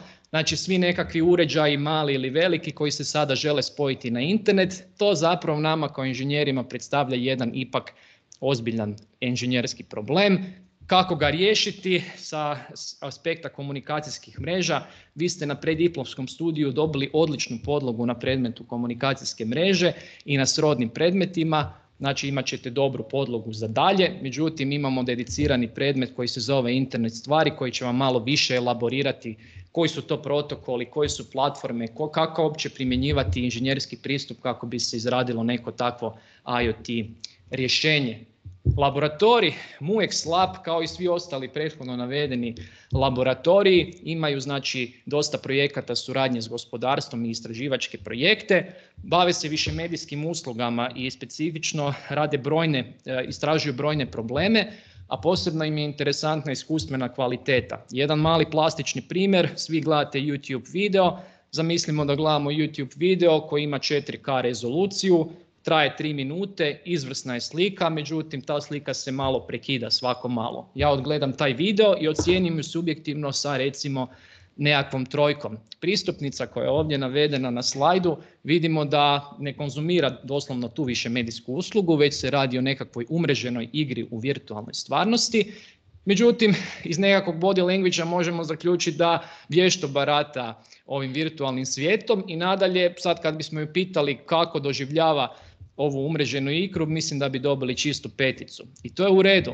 Vezano za iskustvenu kvalitetu, to je nešto što možemo uvijek pitati korisnika i takav vid istraživanja teoretski bismo mogli odraditi na filozofskom fakultetu. Međutim, veliki odmak mi kao ferovci, ono što možemo, mi možemo opet nešto objektivno mjeriti. S obzirom da se sve nešto radi preko mreže, u principu ono što mi možemo raditi, možemo mjeriti nekakve propusnost, odziv, recimo kad kolegica digne lijevu ruku, koliko treba virtualnoj ruci da se digne, digne u zrak. Ako je to na razini par milisekunda izvrsno, ali ako se radi o 200 milisekundi, programe, ovi, gameri će se prepoznat, znači bit će katastrofa što se tiče iskustvene kvalitete. I onda je zapravo ideja uopće možemo li mi iz ovih objektivnih metrika koje možemo mi koferovci skupljati, možemo li možda predvidjeti koja će biti iskustvena kvaliteta. To je nešto što isto radimo znači na ovom profilu.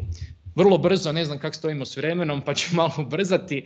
Vidite da u principu više manje svi laboratoriji žele imati nekakvu harmoniju između tehnologije i čovjeka. Postoji laboratorij za tehnologije usmjerene čovjeku, gdje profesor Panđić posebno, poseban naglasak stavlja na primjenu strojnog učenja u svrhu praćenja lica, analize lica, sve kako bi se onda napravio neki programski proizvod. Savršen primjer bi bila primjer proširene stvarnosti gdje onda montiramo si virtualne naočale na lice i onda tako imamo jedan mali konkretan primjer toga.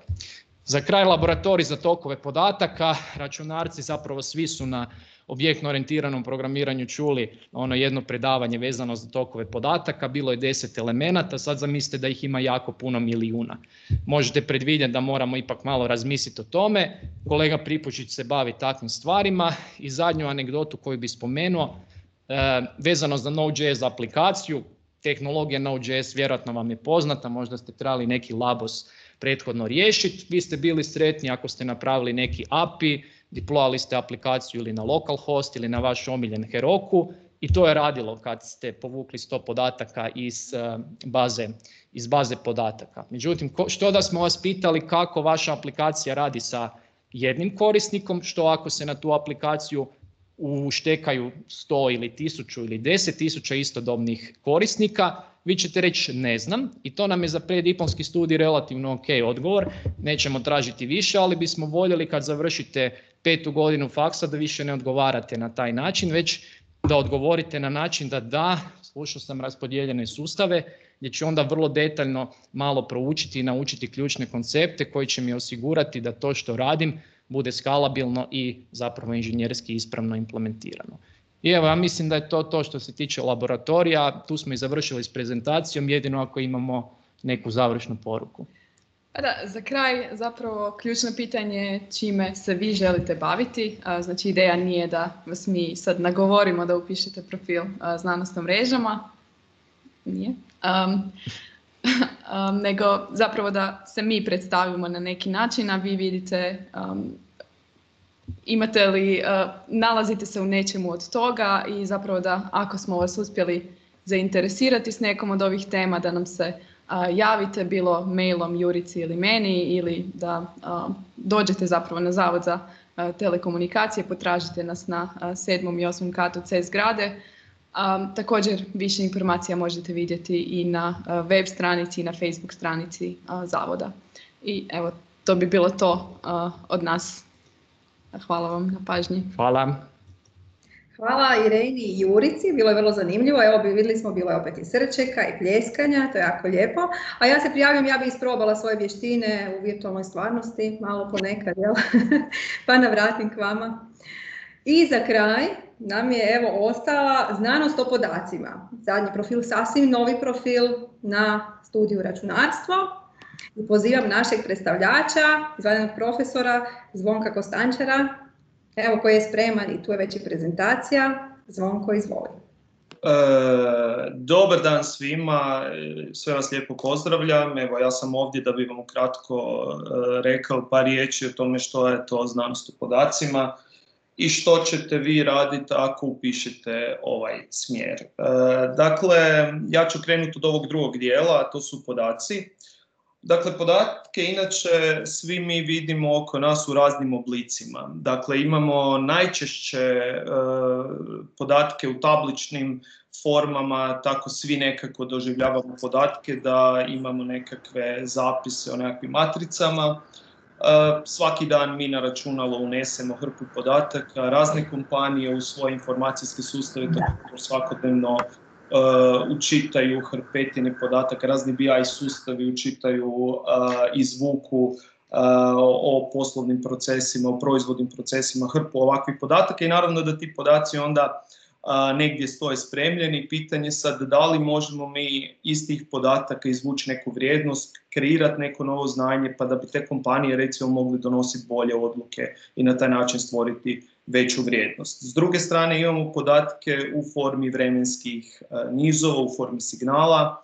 Primjerice, popularni su danas chat botovi gdje zapravo računala razumiju nas, mi govorimo, računala prepoznaju taj govor, tu sjede neki algoritmi, ne prepoznaju sama računalo, znači postoje neki algoritmi koji će to skužiti i moći e, nam odgovoriti. S druge strane imate, ne znam, EKG signale, to su opet vremenski signali iz kojih želimo nekakve petrne izvući. Onda imate recimo u području e, financija, bankarstva, osiguranja, puno vremenskih serija koje potencijalno želimo predvidjeti, prognozirati. Danas nas recimo zanima inflacija, kamo će ići, e, što će s time biti. Jedna velika grupa podataka danas nam e, dolazi u formi slika. Recimo, vjerujem da vas je dio ponekad imao, nadam se da nije, ali vjerujem da nažalost je i nekakvu prometnu e, nezgodu. Pa kad ste došli na procjenu štete, onda su fotografirali tamo vaš auto i na kraju ste dobili neku procjenu štete. I sad potencijalno takva društva imaju hrpetinu ovakvih slika i bilo bi zgodno razviti nekog AI bota koji bi onda nakon fotke auta dao direktnu procjenu štete. To se polagano događa u industriji, u znanosti se također takve stvari istražuju. Fotografijama u medicini već dulje vrijeme, također je pitanje kako te na takvim fotografijama prepoznat razne oblike koje, koje onda možemo u raznim kontekstima, u raznim dijagnostikama dalje koristiti. I zadnji ovdje, a ne najmanje definitivno važan, je oblik podataka tekst, dakle mi svakodnevno generiramo ogromne količine podataka, šaljemo si poruke međusobno, pišemo puno različitih izvještaja, radova na računalu jasno, pišemo poruke na Facebooku, na Twitteru i tako dalje. Pitanje naravno kako iz tih podataka opet nešto izvući. Recimo zanimljiva je priča o sentimentu, da li mi možemo recimo iz određenih objava, određenih vijesti procijeniti kakav je sentiment prema nekom političkom kandidatu, prema nekakvoj kompaniji, prema nekoj kriptovaluti. Dakle, puno toga mi iz teksta želimo prepoznati, želimo da to računalo prepozna, ali pitanje je da li znamo gdje su nam tu danas određene metode, algoritmi. Dakle, to jesu stvari koje se tiču ovog smjera. Što se tiče tih podataka, jasno njih ima puno, ako pogledate samo ove podatke vezane uz internet i u 60 sekundi, otprilike imamo nekakvih, na primjer, na Facebooku oko 1,4 miliona scrollanja, na LinkedInu imamo oko 9000 konekcija, znači sve se to događa svakih 60 sekundi i razni drugi servisi ovdje su popisani. Sve to skupa je naravno vezano za 2021. godinu, međutim kad pogledamo malo širi raspon, onda ovo je od 2010. do 2025. neka projekcija, količina podataka eksponencijalno raste. Eksponencijalnu krivulju smo dobro upoznali zadnje vrijeme kroz ovaj COVID nesretni, ali ovdje zaista imamo jednu eksponencijalni rast, ova nekakva ukupna količina podataka i nema nikakvih naznaka da to neće stati, to će naprosto se nastaviti ovako. Što više zanimljivo je da je u zadnjih godinu dvije izgenerirano toliko podataka koliko je izgenerirano u čitavoj skoro povijesti. Ne generiramo, sam, ne generiramo podatke samo mi ljudi, generiraju i strojevi u, u formi različitih logova i svi ti podaci zapravo su negdje smješteni i generiraju se svake sekunde. Sve to je dovelo do toga da se pojavila jedna sintagma da su podaci nova nafta. To ste možda i negdje čuli, vidjeli, ali puno ima simbolike u ovome. Zašto? Nafta sama po sebi prije svega ne znači ništa. Znači nafta sama po sebi ne bi imala neku vrijednost dok ljudi nisu izmislili motore. De, očete dizelske, benzinske ili kakve god. Nakon toga zapravo mi od te nafte imamo korist. Nakon toga zapravo mi možemo reći da smo razne probleme u svijetu riješili koristeći naftu. Slična priča i s podacima. Trenutno, znači, mi imamo hrpetinu podataka, ali zapravo ti podaci sami po sebi ne znače puno, nama trebaju metode, trebaju nam novi algoritmi, trebaju nam novi modeli koji će iz tih podataka onda kreirati nove vrijednosti. To je nešto što ćete naučiti u ovom smjeru. Tu potrebu za tim su prepoznali ljudi prije nekih deseta godina, jer ovo je potpuno novi smjer, ne samo kod nas, nego zapravo ovaj smjer prije deseta godina nigdje u svijetu nije postojao kao takav. Naime, naravno, podacima su se kroz povijest ljudi bavili i u formi statistike, računarske znanosti, raznih disciplina, ali svi oni stavljaju naglasak na neke aspekte. Ovdje mi integriramo te stvari i zapravo znanost u podacima najčešće se prikazuje kroz interakciju ove tri komponente. Jedno su te matematičko-statističke vještine jako usmjerene na strojno učenje, gdje je strojno učenje zapravo jedan uh, centralni dio. Uh, znači u ovom smjeru ćete jako puno toga uh, morat učiti u formi, znači dosta, dosta je tu i linearne algebre, optimizacijskih postupaka, stohastike, statistike, Dakle, to su sve neki elementi koji su ovdje apsolutno ono, nužni. Uz to e, potrebno su određena računarska znanja i vještine koje ste vi djelomično usvojili na preddiplomskom studiju, dalje ćete to proširiti. Jer jedan data scientist mora skrepat ponekad podatke, mora poznavati alate za big data, mora zapravo u konačnici deliverat proizvod, deployat proizvod, produkcijski dio je također, naravno vi uvijek kad razvijate modele radite to u nekakvom okruženju, ali onda da bi to bio finalni proizvod vi morate to staviti u nekakvu produkciju i na taj način zaokružiti cijelu priču.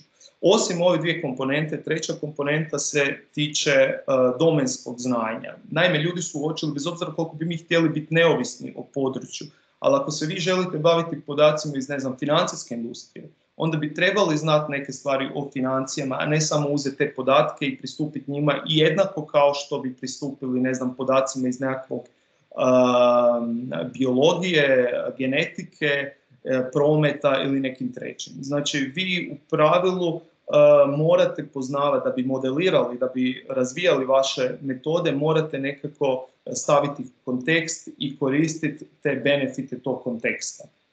Znači ovo su tu stvari koje, ja nisam ovdje išao navoditi popis predmeta, to ćete vrlo lako vi sami pogledati, ali kad pogledate strukturu studija, kad pogledate obvezne predmete, onda ćete vidjeti da tu ima puno statistike, matematike, strojnog učenja, u konačnici dubokog učenja danas, vrlo važne,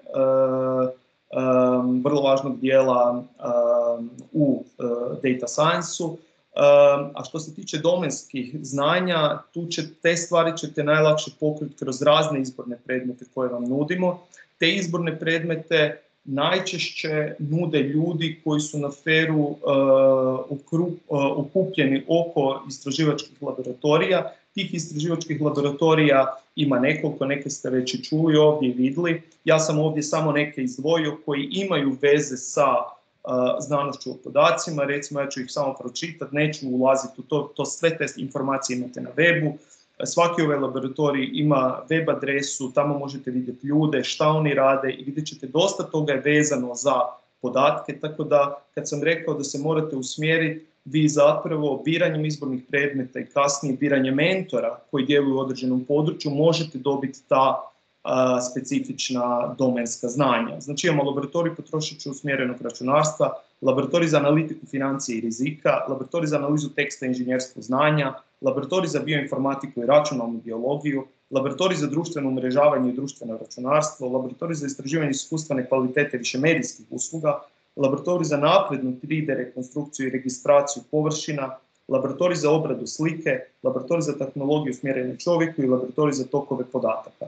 Dakle, svi ovi laboratoriji djeluju jednim velikim svojim segmentom i vežu se na određene probleme znanosti o podacima, tako da vidjet ćete, ako bolje pogledate, puno tih izbornih predmeta dolazi iz ovih grupa, iz ovih laboratorija. Evo za kraj, ja bih rekao što se tiče samih poslova, ako se odlučite za ovaj smjer, onda evo ovdje sam stavio jedan citat, jedan isječak iz Harvard Business Review koji je objavljen 2012. Data science, the sexiest job of the 21st century. Naime, potražnja za ovim poslom je izuzetno velika, uzevši u obzir uh, te velike količine podataka koje naprosto se generiraju i ljudi žele stvarati neku vrijednost iz toga. Poslovi koji dolaze u, uh, i koji su vezani uz data science, ja bih podijelio u dvije kategorije. Jedno su firme koje su, čiji je core business data science. Znači, uh, neću navoditi, sad imate ih po svijetu hrpa i u Hrvatskoj imate nekoliko primjerice, svi ste čuli, zadnje vrijeme su ostvarili veliku investiciju, to je recimo Microblink, oni su baš data science kompanija koja uh, ima core business, razvoj tog proizvoda s kojim su uspjeli napraviti e, veliku stvar i svjetski su prepoznatljivi u tome. Dakle, oni konstantno zapošljavaju velike količine e, ljudi koji se bave ovim stvarima. Ima još puno tu drugih kompanija. Uglavnom, drugi dio poslova je vezan za kompanije koje se bave, e, koje imaju kod sebe relativno velike količine podataka i htjele bi s time nešto napraviti. Tu, tu ubrajam gotovo sve kompanije. U Hrvatskoj ako hoćete onda recimo Infobip, oni šalju SMS poruke, ali zapravo imaju ogromne količine podataka. Pitanje šta se sve iz tih podataka može izvuć, uzmite banke, uzmite osiguravateljna društva, dakle svi oni sjede na velikim količinama podataka, telekom industrija i pitanje naravno šta se iz tih podataka može razviti sa postojećim tehnologijama, postojećim metodama, a naravno onda i nekim novima koje će vrijeme donijeti. Što se tiče razvoja neke znanstvene karijere, zadnjih godina naravno kako je sve novo razvili se i novi znanstveni časopisi, puno doktorata zadnje vrijeme ide u smjeru upravo data science tako da tu isto nikakvih problema ne bi trebalo biti. Ako imate neka pitanja, slobodno se javite na mail, imate informacije na webu, pogledajte, mi vas veselimo čekamo. Hvala lijepa i to bi bilo sve od mene. Hvala lijepa Zvonko. Evo, bilo je vrlo zanimljivo. Novi profil, dakle nešto što je vrlo popularno sada. Ako ste gledali jednog od James Bondova zadnjih, onda znate koliko su podaci vrijedni. A pojavilo se, pojavila su se i neka pitanja u chatu, a možete, pozivam vas, postavljati pitanja i ovako. Možete upaliti kameru, ne morate, upalite mikrofon i pitajte nas, tu smo, evo ovdje za vas.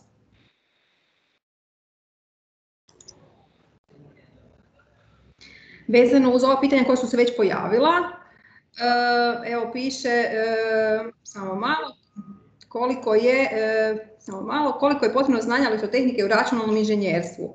To će nam sigurno naš Daniel Hoffman najbolje znati.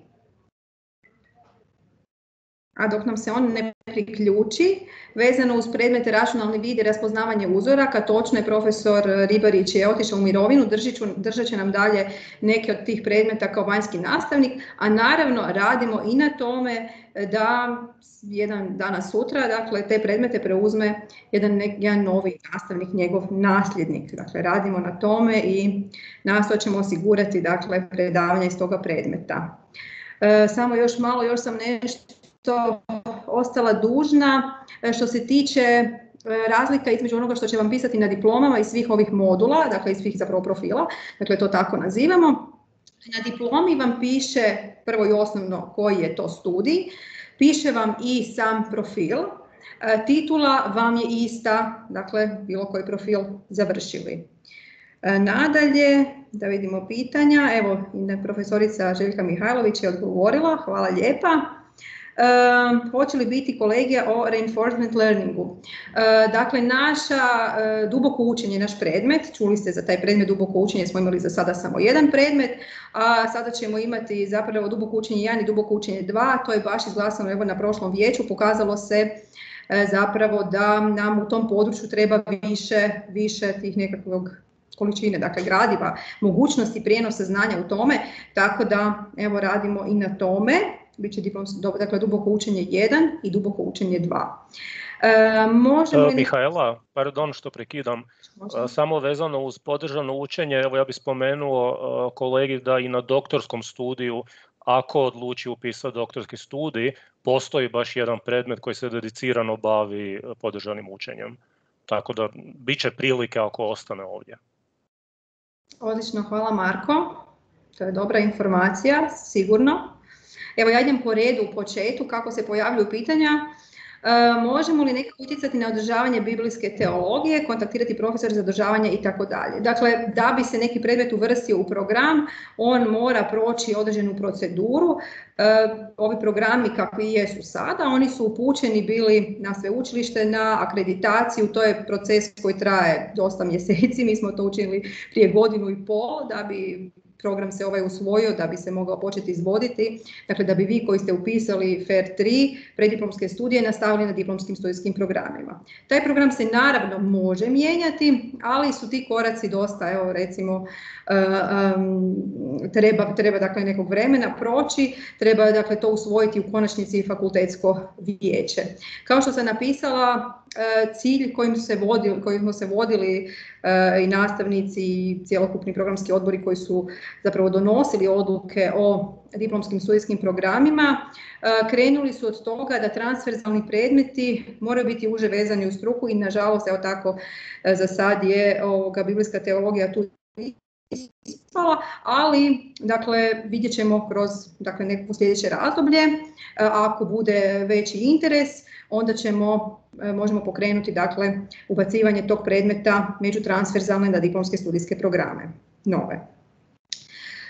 Kakve mogućnosti ima za studente koje zanima data engineering? Evo sad nam se predstavio profil data science. Ne znam jel tu ima nešto za nadopuniti naš zvonko. A pa evo, mogu, mogu reći samo da mi ćemo unutar ovog profila dio stvari pokrit vezanih uz data engineering, naravno studij je data science, tako da ono, možda u perspektivi će biti data engineering, ali trenutno imamo data science koji je ipak tu mrvicu drugačiji od onog što bi trebao biti data engineering. Ali djelomično tu sigurno ima preklapanja, to definitivno. Sigurno. Hvala Zvonko. Dakle, sigurno ste primijetili ima preklapanja među našim profilima. E, naravno, vi ćete odlučiti prema tome čemu više težite i s čemu je više usmjeren profil za kojeg se u konačnici dakle, odlučite i što zapravo želite, ali preklapanja sigurno ima i među našim trenutačnim dakle, profilima. Hoće li se znanost o podacima održavati na engleskom? Mi planiramo, dakle, od sljedeće akademske godine imati grupu studenata koji će slušati Data Science na engleskom jeziku. Ti studiji na engleskom jeziku koje pokrećemo od sljedeće akademske godine će se i plaćati. Dakle, vi koji upišete diplomske studijske programe na hrvatskom jeziku ćete ih moći dakle, slušati na hrvatskom jeziku, a u ovisnosti o tome kakve će biti grupe ovih studijskih programa na engleskom jeziku, moći ćete se uključiti u te grupe. Već znate i sami da postoji neki predmet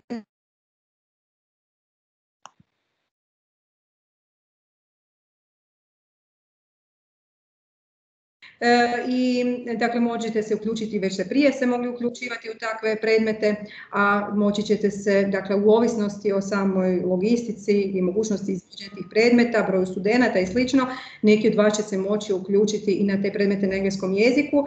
E, između programa na engleskom jeziku i na hrvatskom postoji ekvivalencija, a tako između i tih predmeta koji će se držati na hrvatskom i na engleskom jeziku, pa će vam se to naravno priznati i upisat će vam se dakle u konačnici oni koji budu tako slušati slušali, kojima to bude omogućeno, upisat će se dakle u dopunsku ispravu o studiju da ste predmet slušali na engleskom jeziku. Dobro. E, dalje, hoće li u nekom obliku biti održani bivši predmeti matematika, fizika i prirodoslovlja poput kompleksne analize, Fiorerove analize i teorije grafova.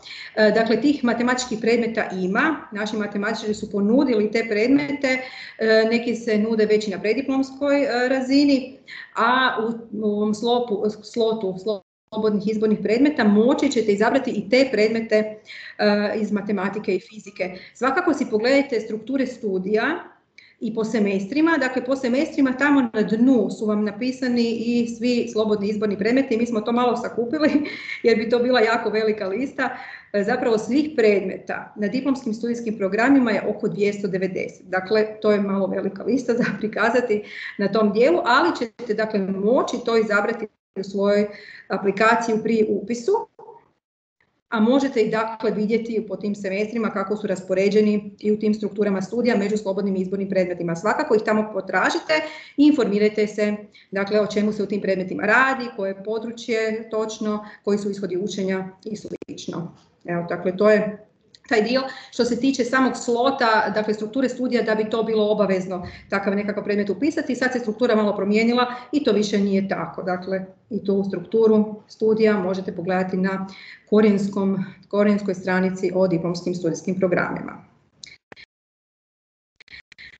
Nadalje, uči slušati računalnu znanost na engleskom Dakle, računalna znanost nije među profilima koje smo jeziku, ali će tu sigurno biti nekih predmeta koji će imati jednu grupu na engleskom jeziku ili su izborni pa će se moći možda i cijeli održati na engleskom jeziku na samim stranicama predmeta i, ili na samom prvom satu pa ćete se rasporediti u određene grupe prema vašim dakle, željama.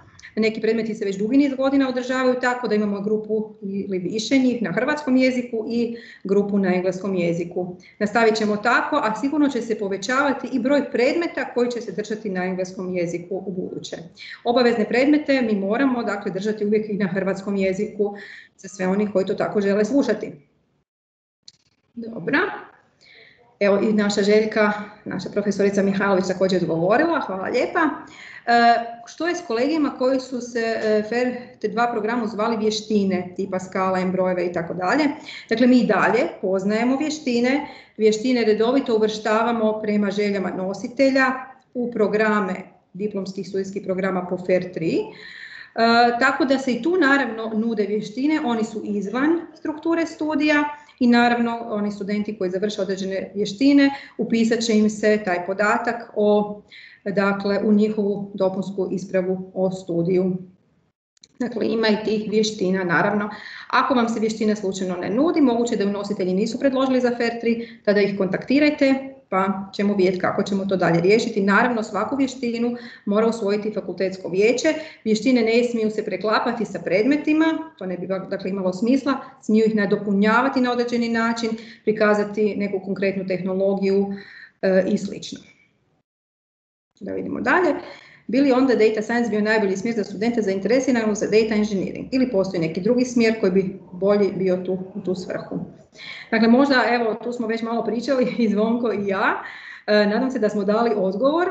Ako nismo, onda svakako evo, javite se ili za sastanak e, ili, ili pošaljite mail. Dala dali smo vam mail adrese na koje se možete javiti i sigurno ćete brzo dobiti odgovor.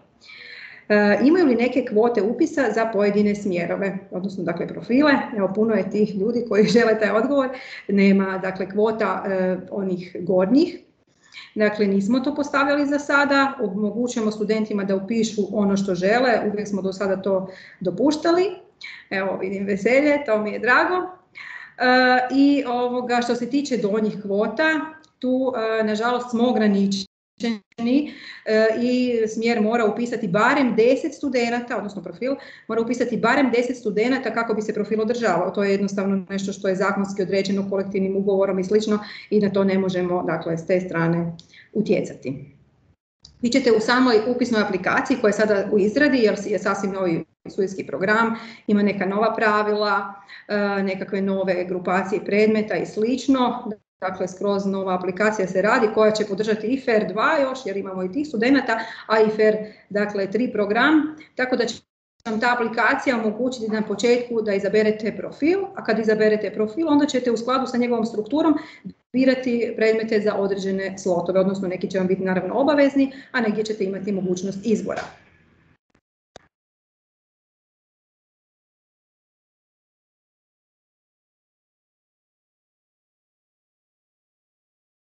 Razvoj programske potpore za web, dok po FER 2 taj predmet nije postojao. Kako će teško biti pratiti, na primjer, predmet napredni, sad ne vidim, razvoj programske potpore studentima koji su završili preddiplomski po FER 2 programu. E, dobro, Marko nam bježi na labose, a ja ću sad odgovoriti na e, dakle, ovaj, e, ovaj post. Dakle, ne bi trebao biti problem. E, pratiti FER 3 diplomske studijske programe. Mi očekujemo da će se studenti koji završe po FER 2 programu lako uključiti na FER 3 diplomske studijske programe. Ono što im možda fali mogu se nadoknaditi kroz izborne predmete. E, također moram reći da nam na naše diplomske studije dolaze i studenti sa drugih e, fakulteta koji su nam naravno srodni i koji imaju zapravo još manji skup sličnih predmeta, dakle, nego što je sad to slučaj između FAIR 2 i FAIR 3 programa, tako da tu ne očekujemo neke probleme. Dakle, to bi trebalo biti tečno i lako. Dobro, pozdravljamo Marka Čupića. E, do kada je najkasnije potrebno odabrati profil. Dobit ćete obavijest o tome, kao što sam rekla, upisna aplikacija je u izradi i ovoga, čim bude gotova i spremna moći ćete joj pristupiti, odabrati profil i sve ostalo što se od vas bude očekivalo. Dobro. Evo, evo i naš Boris Milošinović je odgovorio, odlično, hvala lijepa na ovo pitanje ranije. E, što se tiče izbornih predmeta, moći ćemo izabrati bilo koje izborne predmete ili će oni biti limitirani kao predmet prema FAIR 2, da ćemo trebati odabrati jedan predmet iz predmeta specijalizacije profila i tako dalje. Evo ovako, to vam dakle ovisi o strukturi studija. Imate obavezne predmete, njih morate upisati. Ako ste slučajno obavezni predmet od slušanja preddiplomskom studiju, u tom slotu upisujete predmete, izborne predmete profila. To vam jasno piše u strukturi studija na samome početku u zaglavnoj stranici kojom opisuje diplomske studijske programe. Nadalje, kad imate jezgrene predmete gdje imate veći izbor njih, morate ih upisati u određenom broju ECTS-a koliko je naznačeno u strukturi. Nekad je to 10, nekad je to 5. Što se tiče slobodnih izbornih predmeta, tu u tom slotu možete upisati dakle bilo koji predmet e, sa diplomskih studija FERA, dakle njih je jako puno kao što sam već malo prije, e, malo prije rekla, ali u tom slotu vi možete ubaciti sebi izborni predmet profila ako vas to više zanima, ako ćete na taj način se bolje u tom profilu usmjeriti. Dakle, to je nešto što očekujemo zapravo da studenti isto tu upisuju, dakle prema svojim interesima, prema tome e, kako žele završiti svoj diplomski studij, napisati svoj diplomski rad. Dakle, gleda, morate gledati dakle, novu strukturu i zato se velim i piše nova upisna aplikacija. E, mogu li se studenti sa stručnih studija upisati na diplomski po FER 3? E, studenti sa stručnih studija nažalost se ne mogu upisivati, nego samo sa sveučilišnih e, prediplomskih studija. Dakle, sa sveučilišnih studija nam studenti mogu doći dakle, prema našim uvjetima upisa da vidimo, Karla Perić, pukla je veza pa nije čula, posljedno negdje popis vještina koje se održavaju. Dakle, popis vještina ćete imati pri upisnoj aplikaciji, a vještine uvijek i naknadno možete upisati. I sami znate da pravo, dakle, oni koji su u Ferosi, dakle, znaju da se konačni popisi vještina formiraju u prvom ili drugom tjednu semestra, tada nositelji vještina i biraju ponekad ko će sve upisati, koga će sve prihvatiti na neku vještinu i onda zapravo se oni brinu o tome da se sve ispuni, dakle studenti ispune sve ono što se od njih očekuje. Dakle, te vještine možete upisati naknadno, to nije sada nužno u upisnoj aplikaciji dakle, upisati. E, jel postoji neki prijemni ispit za upis diplomskog studija. Što se tiče ferovih studenata, fakultetsko vijeće je ove godine donijelo odluku da svi studenti koji su završili ferove prediplomske studijske programe mogu upisati diplomske studijske programe bez prijemnog, odnosno razlikovnog ispita. Evo srče ko sam dobila, dobro. Dobro, dakle to je za ferovce. Što se tiče ostalih e, studenata, oni naravno moraju ići na e, razredbeni ispit. Razredbeni ispit e, promijenili su se i predmeti koji se drže na prediplomskom studiju, tako da vam je to sve opisano, one koje to zanima. Znam da ovdje imamo i goste sa nekih drugih fakulteta, dakle dobro nam došli i možete vidjeti dakle popis predmeta kao i pravila o bodovanju i slično sve na našim stranicama. Dobro. Što se tiče i upisa vještina sa FER 2 programa, budući da nije isti izbor trenutačno, vještina bi se trebala uvrstiti u, e, dakle, u e, program po FER-u 3. To nije neka komplicirana procedura. E, odbor za prediplomske i diplomske studije provjeri da gradivo nije već obuhvaćeno nekim predmetom, predloži to dalje fakultetskom vijeću i to je nešto što se vrlo brzo može ostvariti. Ako je vještina koju, koja vas zanima, nije trenutačno na popisu FER 3 e, diplomskih studijskih programa, kontaktirajte nositelje i nositelji će taj korak bez problema učiniti. E, Ana Ljubek pita što znači slobodni izborni predmet. Tu upisujemo dodatne ECTS, da na kraju imamo 35 ECTS ili se ubraju u redovnih 30 ECTS po semestru. Dakle, to se ubraja u redovnih, normalnih 30 ECTS po semestru.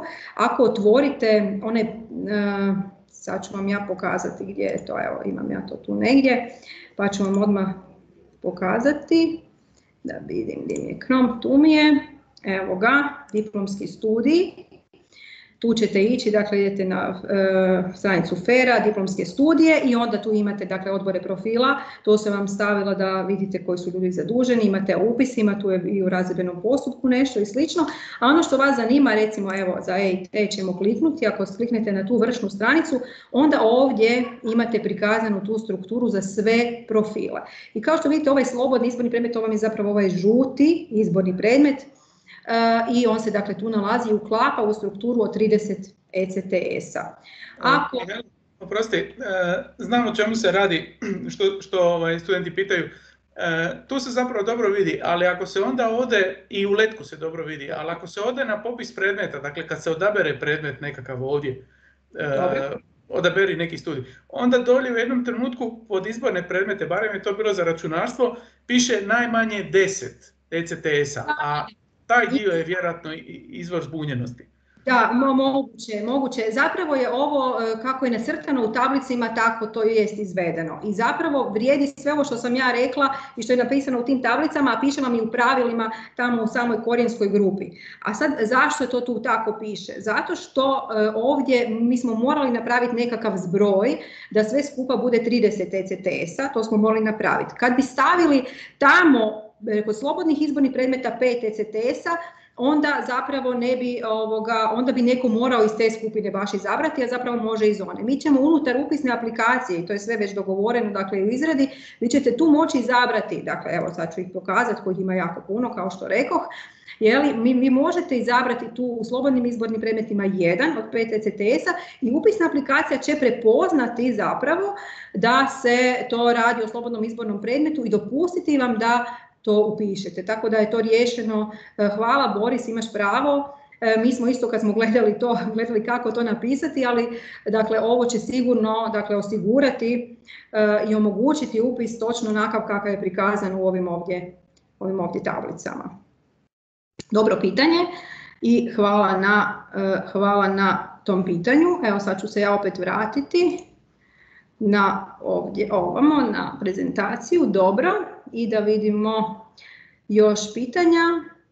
Evo ga, i Alan Jović nam se pridružio s odgovorom. Hvala Alan.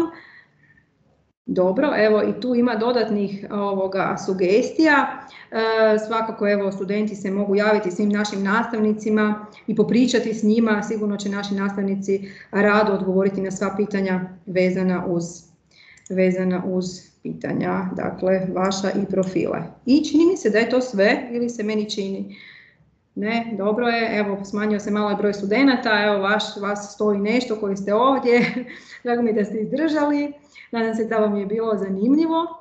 E, ako imate bilo kakvo pitanje, nemojte se ustručavati, postaviti ili na mail našim profesorima, našim odborima profila, a možete naravno i meni i studentskoj službi postaviti pitanja. Dakle, to je to, čini mi se. E, e imamo još jedno pitanje, da vidimo.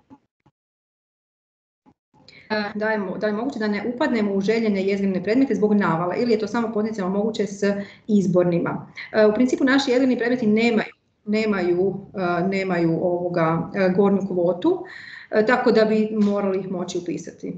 Dobro, manji broj naših predmeta zapravo imaju gornju, gornju kvotu. Kad se odabiru mentori za diplomski studij, pri upisu diplomskog studiju, studija, kad ćete popunjavati aplikaciju za upis, onda ćete, onda ćete popunjavati dakle, i birati mentore, naravno opet po onom principu da imate listu zapravo mentora preferiranih, deset čak ćete moći unijeti. Ako vas potvrdi prvi mentor, to je to. Ako mentor je možda već popunio svoju kvotu studenata, E, pa vas ne može prihvatiti na mentoriranje, on će vas dakle u aplikaciji odbiti i onda ćete preći e, na drugog mentora koji će onda moći utvrditi izbor. Imamo već e, standardnu proceduru vezanu uz to i to jako dobro, dobro funkcionira. Karla Perić zahvaljuje i pita postoji negdje lista mogućih mentora. Zapravo su svi naši nastavnici FERA koji su od docenta na više u znanstveno nastavnim dakle, zvanjima E, mogu biti mentori na našim i prediplomskim i diplomskim studijskim programima. E, I ono što treba reći jest da e, nemojte se ograničiti na neke zavode vezano uz nekakav profil. Moram naglasiti da su naši novi profili napravljeni tako da zapravo mentori mogu doći sa različitih zavoda i dakle mentorirati studenta na pojedinom profilu. Kako je to? To vam piše u svakog nastavnika. Ako e, googlate, dakle, odnosno pretražujete nastavnike na Ferovom webu, onda ćete sigurno vidjeti i njihovo područje interesa, područje bavljenja, neki će navoditi i projekte na kojima rade, gdje se možda možete uključiti sa praktičnim svojim radom, a prema IEEE taksonomije smo svi zapravo mi morali odabrati i područje rada i zapravo prema toj taksonomiji koja je dakle jako dobra i prihvaćena u svijetu možete dobro vidjeti ko se čime čime bavi. Ali kažem, nemojte se ograničavati na neke zavode, nego pogledajte dakle, nastavnike, pretražite po određenom području i kontaktirajte ih. Što se tiče mentora, jako je važno da kontaktirate mentore unaprijed, da im najavite svoj interes, e, želje čime se želite baviti. Ako točno znate već u kojem području biste bili, to je jako dobro, mentori to jako cijene. Ok. E, da vidimo kome bi se trebali javiti studenti koji nemaju ni približnu ideju koji smjer odabrati. Pitam za prijatelja, ali stvarno. Dobro. E, za prijatelja, evo odgovor. E, dakle, pa javite se nekim dakle, nastavnicima kojim mislite da su u nekom području. Možete i pitati za savjet, možete pitati, poslati mail i meni također, pa ću vam ja preporučiti nekog u, u nekom području i slično. Dakle, ima razno raznih dakle, mogućnosti i pretraživanjem na webu i konzultacijama s nastavnicima, sa mnom sa studentima. Dobro, evo za sad je to sve ili neko piše. Možete i reći nešto, nemojte se sramiti, slobodno se uključite, možete uključiti kameru, možete mikrofon. Ja sam tu, mi smo tu, čekamo na vaša pitanja. Ako bi to bilo sve, evo, ja bih onda završila ovaj današnji sastanak, odnosno današnje predstavljanje profila. Time smo predstavili sve nove profile po FAIR 3 diplomskim studijskim programima. Evo, hvala svima na pažnji i nemojte se usučavati pitati, bolje pitati nego skitati. Evo, hvala na pažnji i hvala svim prezenterima na zanimljivim prezentacijama. To je to. Doviđenja!